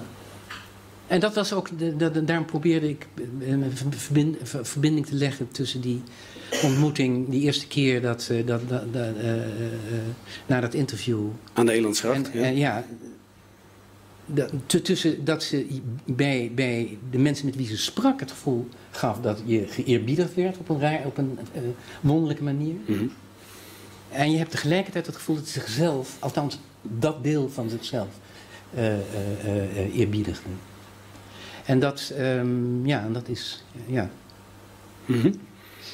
En dat is... ehm, eh, En dat is voorbeeldig. En dat vind ik, voor mij is dat, de in, de, de, is dat het voorbeeldige aan haar. En dat is ook wat. wat, wat eh, ik, le- ik leef nogal in navolging, dus ik, ik, ik, ik heb altijd heel erg naar andere mensen gekeken om te begrijpen hoe, hoe ik zelf moet eh, leven. Dus ik heb ontzettend weinig zelf eh, bedacht en veel aan anderen overgelaten om het voor te doen, zal ik maar zeggen. mhm. En, eh, en, eh, en, eh, en, en, het, het is haar, eh, ja, haar, haar persoonlijkheid, veel eer dan haar wereldbeeld en haar opvattingen, die me vaak bigot, zelfs op, soms een beetje bigot, en soms heb, erger ik me aan, en zit er een soort van, eh, voor een soort, soort, soort, soort, ja, moeilijk te begrijpen, eh, eh, ehm, e- e- elitair iets, eh, wa- wa- wa- wa- wa- wa- wat ik lastig vind, et cetera. En dat, dat- ja, dat, is, dat, dat interesseert me bij haar op een of andere manier niet zo. Mhm. Dus ik ben, ik ben een, voor een avondje over het wereldbeeld van, van Andreas Burnier ben ik niet helemaal de geschikte persoon. Nee, dat bleek Maar wel wel. voor haar Ja. over, um, En ondertussen ben ik, ben ik, gelo- geloof ik niet dat er iemand is die zo'n, eh, waar, ik, waar ik zo vaak aan denk. En die me zo, zo begeleidt in, in, op momenten dat, ik, dat het erop aankomt. Mhm. Die, eh, die, die, die, die door haar voorbeeld eh, eh, je sterkt. Of je het gevoel geeft dat er nog een bondgenoot is in, eh, eh, in, in, in, in, in, de, in, de, in, de, in het, eh, vanuit het hiernamaals. Ze is ook de minst dode eh, gestorven schrijver van eh, na de oorlog. Ze is, eh, ze is- hè, ze, ze, heel veel schrijvers eh, maken, moeilijk, zal ik maar zeggen. Ik ben dus flauw om hem, eh, om, om, om, om, om, maar die, die veroudert op een of andere manier eh, eh, eh, eh, eh, langzaam. Mhm. Eh, Andreas Bunier nooit. Als ik aan Andreas Bunier denk, dan denk ik nooit aan iets wat, wat ik toen dacht en nu niet meer. Het is altijd alsof ze me nu, als ze opspeelt, alsof ze me nu ehm, helpt met, eh, met eh, ja, je moet doordenken, je moet goed luisteren, je moet, eh, ja, alsof je, en dat is echt, er zijn weinig, het is een leraar, b- bovenal als een leraar. Dus Het was niet een helemaal gelijke verhouding, vond ik. Maar ik heb het dus maar zelden meegemaakt. Dus dat, dat, die, die ervaring van zusterlijke verwantschap, waar, waar ook het eh, over lijkt te hebben, eh, eh, daar ben ik alleen maar vreselijk jaloers op. Dat dat, dat ook nog mogelijk was met haar. Maar, en dat heb ik gemist. En wat ik enorm jammer vind, is dat ze maar 70 is geworden. Omdat eh, uit de biografie blijkt dat ze, ehm, uit eh, Elisabeth's eh, boek blijkt dat ze heel erg bang was voor de ouderdom, voor de aftakeling, vooral voor de, voor de, de, de, de afnemen van de geestelijke vermogens. Maar eigenlijk is er niemand naar wie ik zo benieuwd ben geweest. Ik weet ook dat ik dat ook wel eens gedacht heb, maar toen ze dood was, helemaal natuurlijk. eh, eh, hoe, hoe de ouderdom zou uitpakken en wat ze daarvan zou maken. Omdat ze natuurlijk toch op een bepaalde manier ook een beproevingsschrijfster is. Hè? Die, eh, die, die heel erg geloofde dat je door de crisis heen moet le- leven. En hoe ze, hoe ze. Er is een enorme behoefte aan, aan, aan schrijven over go- goed denken en schrijven over wat ouderdom betekent. Want we worden allemaal steeds maar ouder. En, uh, en er wordt steeds meer uh, uh, gedaan alsof, het een, alsof daar ook oplossingen voor bestaan voor, het, voor, voor de ouderdom. Terwijl het een, natuurlijk, net zoals alle andere levensstadia, een, een, passage is. En zij zou, als geen ander, hebben kunnen schrijven over, van binnenuit over die passage. Zoals alles een... Dus het is jammer dat ze op de 37 maar het is ook. Mm -hmm. Zoals alles een passage is, hè, um, uh, in jouw opvatting ook, en ik denk dat je dat wel gemeen hebt met Andreas Bonier, dus dat alles een, een, een, mogelijkheid is tot ontwikkeling, of tot, hè, waar je doorheen moet, een beproeving ja, of een ja, ontwikkeling. Ja, ja. ja. ja. Elk nadeel heeft zijn voordeel en dan spiritueel. Ja, precies. Ja. en uh, dat is ook het kwaad. Hè? Ja. Daar schrijft Andreas er ook met grote regelmaat over. Over de kennis van het kwaad, over het kwade, ja. over het goede en het kwade, over de, uh, de nut van het kwaad. Um, uh, is dat. Ja, ik zie dat altijd als een. Uh, dat zie ik als een erg grote bijdrage van het religieuze denken over het nut van het kwaad. Um, Zie jij dat ook zo? Is dat een... Begrijp jij het helemaal? Wat, wat, wat zij daar bedoelt? Ja, ik denk niet, dat ik het weet niet of ik het helemaal begrijp, maar ik vind het een hele nuttige, ik vind een hele nuttige um, manier om te kijken waar komt het kwaad in de wereld vandaan. Ik bedoel, de hele wereld wordt totaal onbegrijpelijk als je denkt dat er een. Uh, dat er, uh, als je naar de gruwelijkheden van de wereld kijkt. En de, een van de oplossingen daarvoor is te denken dat dat de mogelijkheid geeft tot het goede. Want als dat er niet was, dan zou je niet goed kunnen doen. Alleen al rationeel gesproken, dus hè, puur rationeel redenerend. Hè, dat is misschien een beetje digitaal, maar ook heel praktisch natuurlijk. Ja. Mag ik er even mengen? Ja, dat ja, mag ja, graag. Jullie mogen, jullie mogen allebei mengen. Ik denk dat het wel het juiste moment is. van mijn eenzaamheid. Ja. Hier wil ik even Ja, nee, dat, was, uh, dat is helemaal de bedoeling. Ja. Ja, omdat Willem Jansen begon te fronsen, dacht ik... Uh... Fronsje, ga je mee fronsen? Ja, frons mee. Ja. Nee, ik denk dat, want ik heb er vanmiddag ook nog een, een, ik had een, er kwam een prachtig citaat van uh, Andreas tegen uh, hierover. Um, en dat, dat, dat is, uh, jij vertelt net heel mooi um, um, hoe, hoe, ze jou door haar houding stimuleert en ook nog steeds lang, langskomt. En dat laatste kan ik ook uh, bevestigen. Andreas komt heel vaak langs en inderdaad nooit in een verouderde vorm.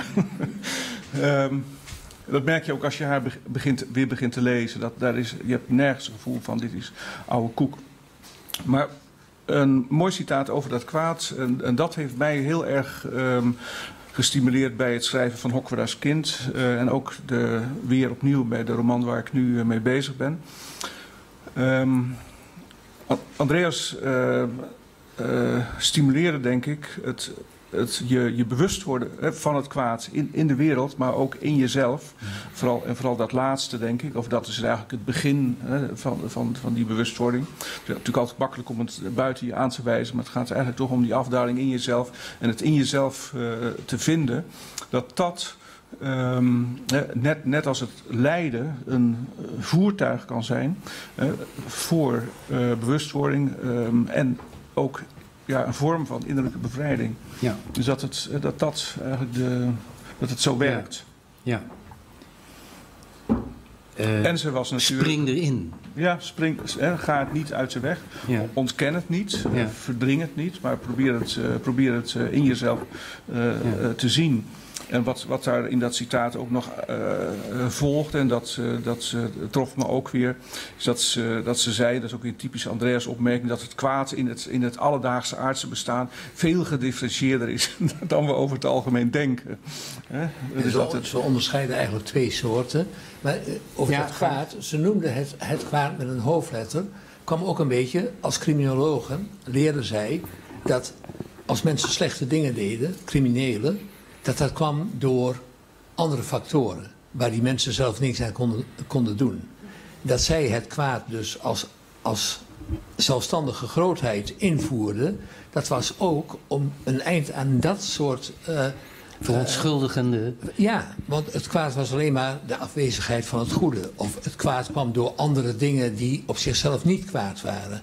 Nee, zij vonden het kwaad een zelfstandige grootheid die zowel in de wereld werkzaam was als in elk mens, zeg maar. Dus je kunt het inderdaad in jezelf uh, zoeken. Maar het was ook in de wereld. Uh, uh, en dan had je twee soorten, ontleend volgens mij aan de antroposofie. Luciferisch en animanisch. Luciferisch was niet zo heel erg, was een beetje ro als roken, een beetje lichtdrukgebruik. Dat was dan het Luciferische kwaad. Daar konden we mee leven. Maar het animanische kwaad was bijvoorbeeld de bureaucratie. Die een zelfstandige grootheid was geworden in elke moderne samenleving. En die niet door een andere macht in de, de, ja, gecontroleerd werd. Dus die zelfstandig voortwoekerde en voortwerkte. Dat zag zij als, dat was een belangrijke manifestatie van het kwaad. Ja, ja dat valt heel erg op in, uh, in, in haar essays, dat ze zo'n ongelooflijk scherpe uh, typering van het kwaad geeft. He, dus ook allerlei verschijnselen in de samenleving die je daar niet meteen uh, mee zou verbinden. Dat zij daar wel vlijmscherp en keihard op wees. Ja. En dat, dat ging natuurlijk ook vaak tegen de haarden van mensen in.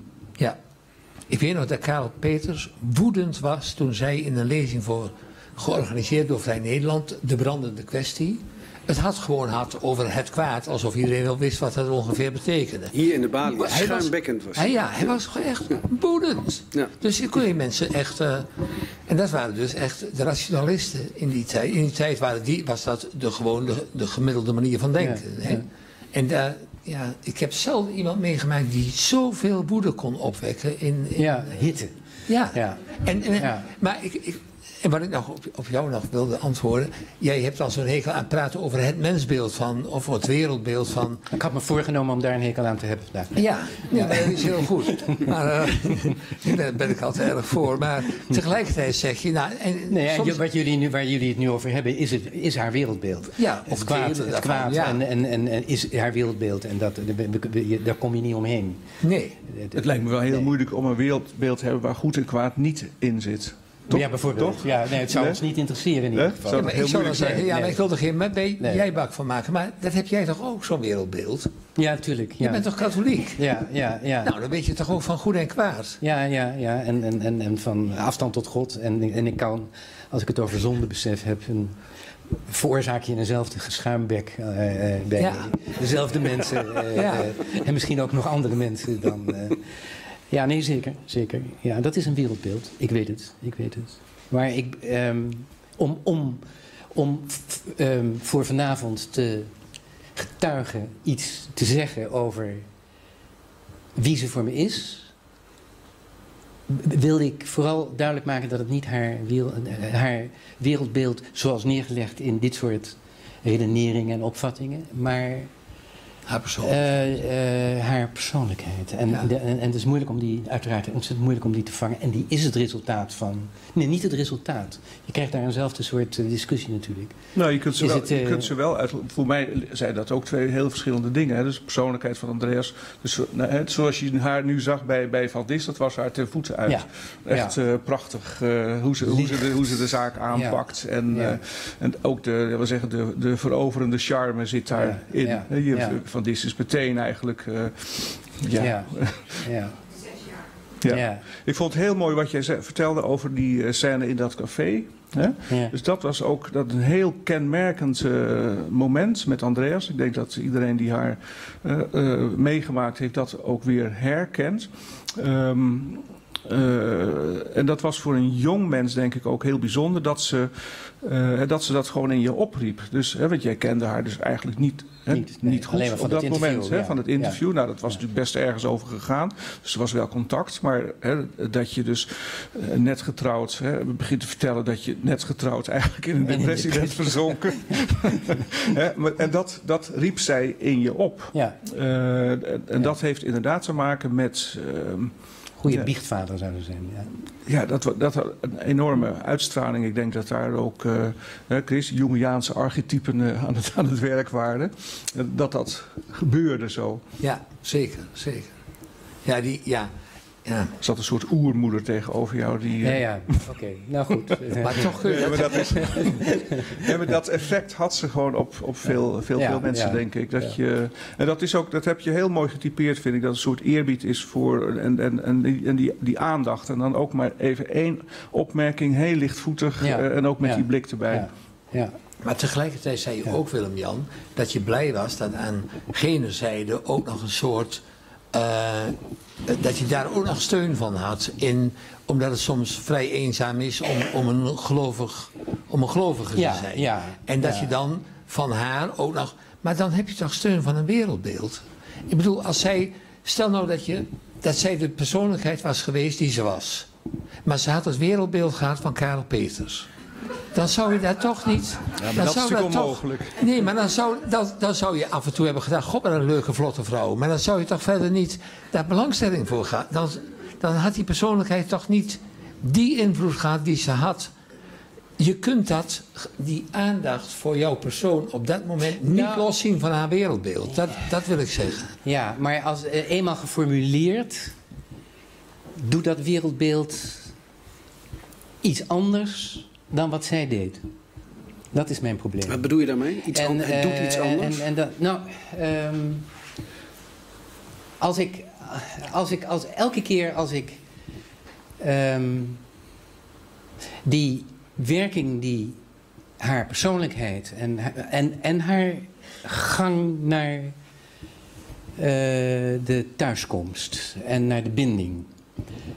Dat is voor mij de. eh, maar dat, dat speelt zich allemaal af in een, in een, in een, in een niet-filosofische, bijna anti-filosofische ehm, Ja. gat. En waar eigenlijk ook niet zo vreselijk veel over, goed over te spreken is. Ehm, waar je eigenlijk altijd meer zegt op het moment dat je het zegt, zeg je alweer veel meer dan je, dan, dan, dan, eh, dan, eh, dan, je, dan je weet. En je, en, en, en, eh, eh, maar ja, die, die, dat is die, die, die, die ehm, zeepbelwereld. Waar de zeepbel, zolang hij zweeft eh, en je hem niet aanraakt met woorden, zijn volledige werking op je heeft en volledig je, je, je, je vult, vervult. En, en, en op het moment dat je het, en het, het weer omzet in wereldbeeld, waar zij zo Mhm. goed in was. Ja. En waar, waar ze, maar dat zie ik dus, ik, veel meer dan jullie, zie ik dat ook als haar makkers.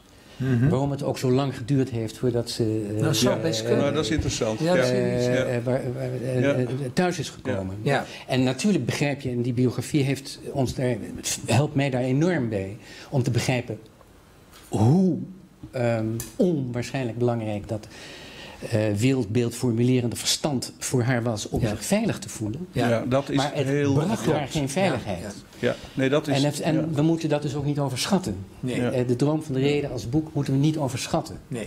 Maar ik denk Maar we ook- moeten wel altijd eh, de houding, de persoonlijkheid, die, of de houding die maakte dat ze het, de ziel boven alles stelde en boven het materiële Mhm. stelde.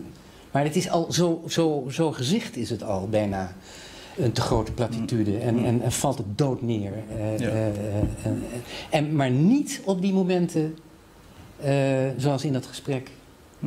dat ze eigenlijk in beeld, eigenlijk, want dat is wat jij, jij, jij legde erg de nadruk op het visioen in het vliegtuig. Hè? Nou ja, dat is. ja. ja, nou ja, maar dat, daar, Ja. daar gaat het om. Ik denk dat, het, dat, dat het uiteindelijk om, om een, eh, ja, wat, wat, wat in, de mis, in, de, in de mystiek eh, apofase eh, eh, Ja. genoemd wordt. Het, het, Ja. het, het, het, het kan niet meer geformuleerd worden in, in, eh, in, eh, in, in, Ja. eh, in, in taal en zeker niet in haar ja, systematische taal. Ja, je ja. wordt daar gek van. Nee, maar dat was ook af en toe, rechts ook in die tijd was het, aanvoerde. was het ook Ja. al om gek Ja, van. ik, ik zie Ze ook heel, alles. Ja, ja, maar ik zie ook net als. eh, Ik zie ook echt. Voor mij is er ook echt een, zeg, een ruimte tussen eh, Andreas als persoonlijkheid, als, als eh, haar houding, eh, inspiratie van haar uitging. ehm, Zijnswijze. zijnswijze. Ja, ja. Hè? En, vanmiddag las ik een stuk in, hè, in De Droom der Reden, ehm, of in De Rondgang der Gevangenen. Dat zijn hele interessante boeken.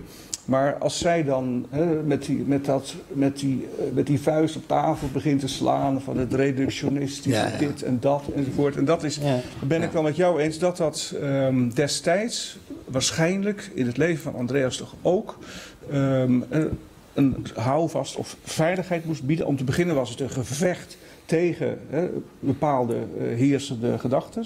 Maar het moest misschien toch ook een soort veiligheid uh, uh, bieden. Hou vast, ik, letterlijk. Toch? Een, ja, hou ja, vast, ja, een, hou vast, een, een, theorie. Terwijl ze dan zeggen, in, in, in, in levende lijven, hè, dan, dan, zie je, dan zag je wat je nu net op het, op het scherm zat. Zag je iemand die helemaal niet vastzit in, in, in bepaalde... Ja. Ik ben met je eens dat, dat die, dat die um, uh, zoiets als dat, dat, dat visioen, dat dat, dat dat de essentiële dingen zijn. Maar dan ben ik het wel weer met Chris eens. Dat je, hè, zeggen, als je, op het moment dat je met haar praat, spelen ook die dieper liggende hè, uh, uh, aannames of overtuigingen spelen natuurlijk een rol in de manier waarop ze naar jou zitten kijken als ze met jou praat. Ja. Ja, dat, is niet, dat is niet een, zeg, een oppervlakkige psychotherapeutische belangstelling of zo. Dat is gewoon een, komt van heel diep je met een ander ja. uh, verbinden en echt geïnteresseerd ja. zijn. Ja.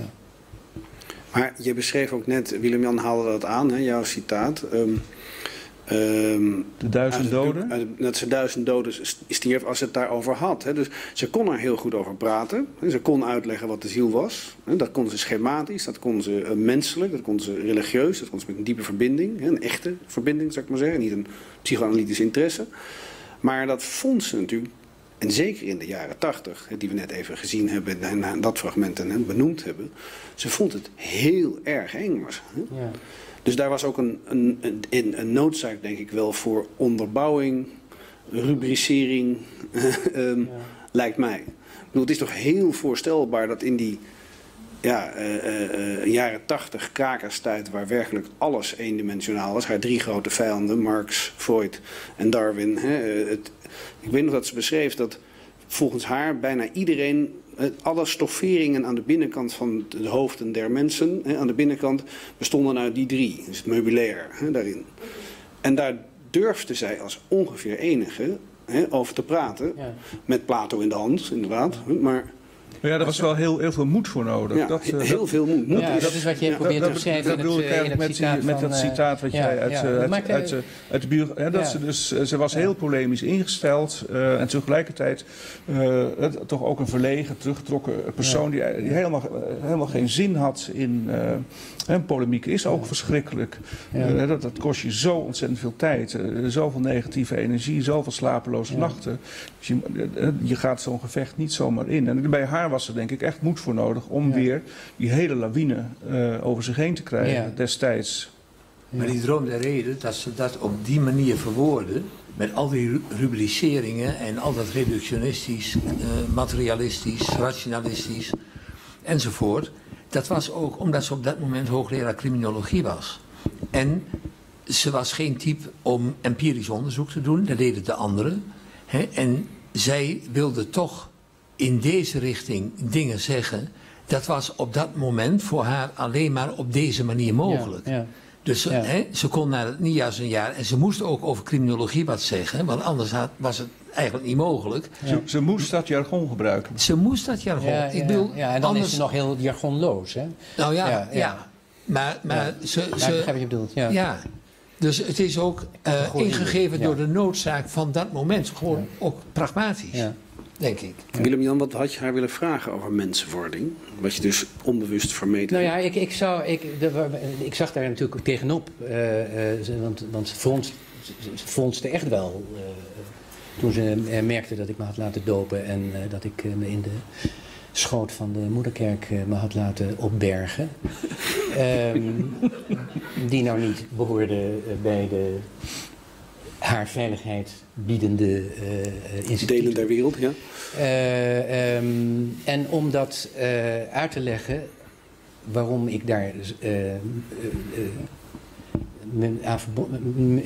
waarom ik daar een binding mee aangegaan was, zou ik haar hebben moeten vertellen wie Christus is en wat de menswording is. En, en dat, dat, daar zag ik natuurlijk minstens zo erg tegenop om, dat, uh, om, om, om, haar dat te vertellen. Om, A, omdat, ik, omdat het, ik het heel erg moeilijk te, te, te uit te leggen vind. Mm -hmm, uh, B, omdat ik dan, uh, ja, um, ik heb het altijd, ik vind het nog steeds heel moeilijk om uit, om uit te leggen.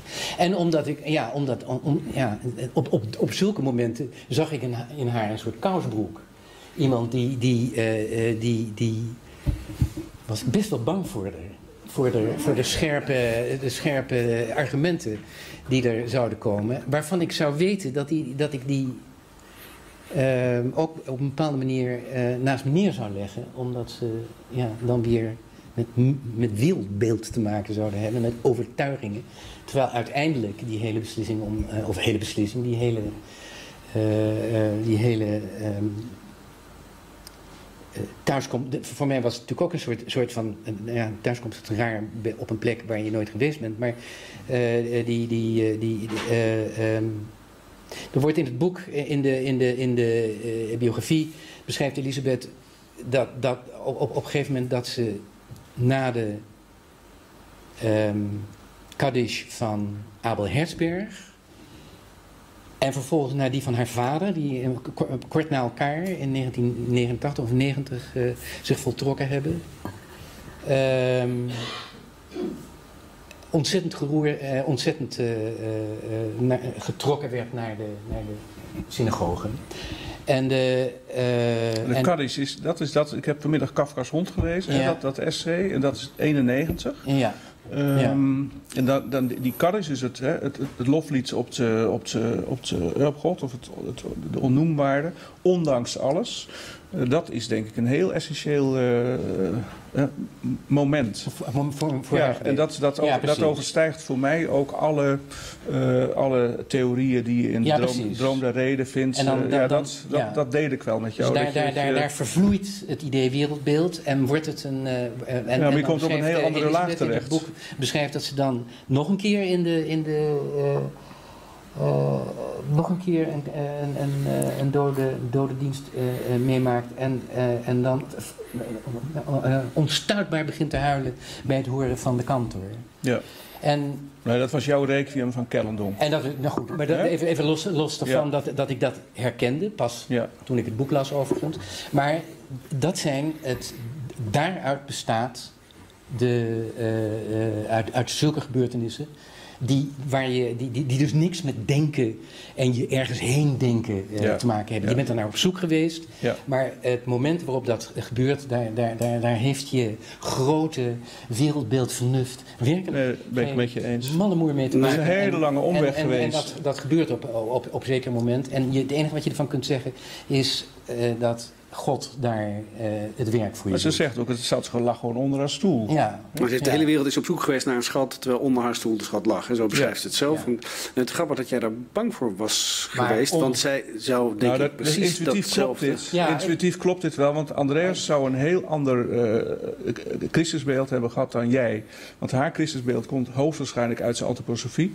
En dat is, eh, denk ik, anders Ja, eh, dat is, dat dan, is veel dan, meer dat, dan het dat- katholieke dat- Christusbeeld. Het, het bewustzijn Dus ik denk dat je dat wel, ik denk dat je dat wel goed hebt aangevoeld Ja. en misschien ook terecht hebt Maar mee- ik Ik denk ik denk dat, haar- dat dat het thuiskomen in de traditie dat haar dat erg had aangesproken. Denk ik. Maar goed, dat is mijn dat dat wel. Ja, dat, dat gesprek zou dit opgeleverd hebben, Ja, maar ik wist ja. het natuurlijk niet. Dus, Jullie maar je zeiden... kon best bang voor haar zijn. Dat Oh ja, nee, dat is een absoluut, absoluut go- goede observatie. Dat heb ik bij veel mensen gezien in ieder geval, laat ik het zo zeggen. Dat had ik niet, maar ik had het bij veel mensen gezien. Ja. Ehm, eh, en dat Herzberg, heb ik later bedacht, was inderdaad... Maar zij vond dat ik mee moest met haar naar de begrafenis van Abel Herzberg. Ik wist niet waarom. Ik had ooit een boekje van Abel Herzberg gelezen. Maar ze zei, nee, dat moet. Dat is belangrijk. Ehm, eh, dat is een van de grote intellectuelen van eh, deze eeuw. Daar moet je mee, de begrafenis moet je mee. Heb ik gedaan. maar later besefte inderdaad, toen ik die dingen las, van oh, het was natuurlijk ook wel een belangrijk moment. Ehm, ik wil nog één ding doen. En dat is ehm, eh, bijna een eind maken aan de avond. Maar ik wil nog één ding daarvoor doen. Jullie zeiden, ze is zo levend, hè, altijd. Nog. Nog steeds. Ja, ehm, ze is de meest levende dode schrijver die er Ja, is. voor, mij, is- voor mij is Kellendonk dichtbij. Of blijft, blijft aanwezig. Ehm, en Andreas komt toch ook inderdaad vaak langs. Dat is, Ja. eh, dat is, dat is allerlei uitspraken die ik me herinner. Dus dat was gewoon eh, de leraar. Er zat een enorme, eh, ja, ook omdat ze zo met overdrijving sprak. Zo, ze kon echt iets in je planten. Gewoon, hè, dus die ene zin van hè, verveel je je ook als je droomt. Dat is dan gewoon één zin die komt Ja. binnen en dat vergat je niet meer. En Dat, was een, dat had ze heel sterk. Het is ook nog ontzettend actueel, vind ik. Ik las bijvoorbeeld weer ehm, de achtste scheppingsdag, haar laatste ehm, reden um, als professor. 1988. Het is inderdaad, ze, uh, ze praat over de ziel, ze praat, maar ze praat ook over allerlei dingen als Tanatisch jihadisme. Ze praat over uh, de komst van het superbrein van het internet. Ze praat over. Um, en ze zegt hier bijvoorbeeld, zegt ze in de. Eigenlijk gaat die achtste scheppingsdag gaat over het, de toekomstige, het echte toekomstige gevaar. Dat we ons biologisch materiaal kunnen veranderen. En dat er een wereldwijd superbrein ontstaat. Waardoor we als mensheid gedoemd zijn om te blijven wat we zijn en nooit meer te kunnen ontwikkelen in iets anders. En dan zegt, zegt ze, hè, wat is het ideale wereldbeeld? Uh, het ideale mensbeeld, ja, uh, dat zijn dus uh, de politici en wetenschappers van dit moment. Daar valt zeker Voltaire en Baudelaire en Van Gogh en zo niet onder. Hè. Dat soort types zouden er dan uitgemendeld zijn.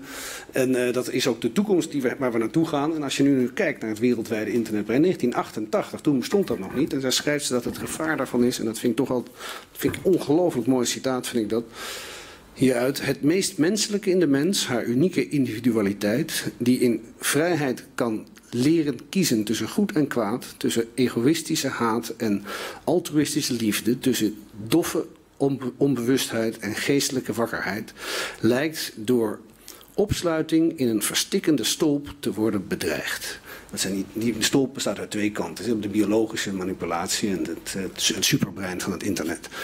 Als je deze woorden zo'n beetje naast elkaar legt, dan valt me op dat alles wat we besproken hebben ja, want het woord, in vrijheid, wordt ook gedefinieerd hier. Ja, en uh, er, er goed in past. Um, ik wil u ongelooflijk hartelijk danken voor dit zeer intense en fantastische gesprek. Ik wil uh, u heel hartelijk danken dat u dat zo lang heeft uh, willen aanschouwen met ons. En ik wil als allerlaatste even kijken naar een fragment van Andreas Bernier uit hetzelfde gesprek met Adriaan van Dis. En daarna is de bar geopend en kunnen we verder praten bij koffie of wijn of bier. Hartelijk dank.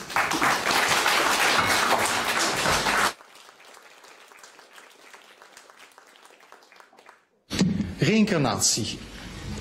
U bent hooggeleerd. Kan een academicus. Reïncarneren. Ja, bijvoorbeeld. En waarin dan wel? Ja. Want het hoogste is al bereikt. Hoe, ja. hoe nog verder?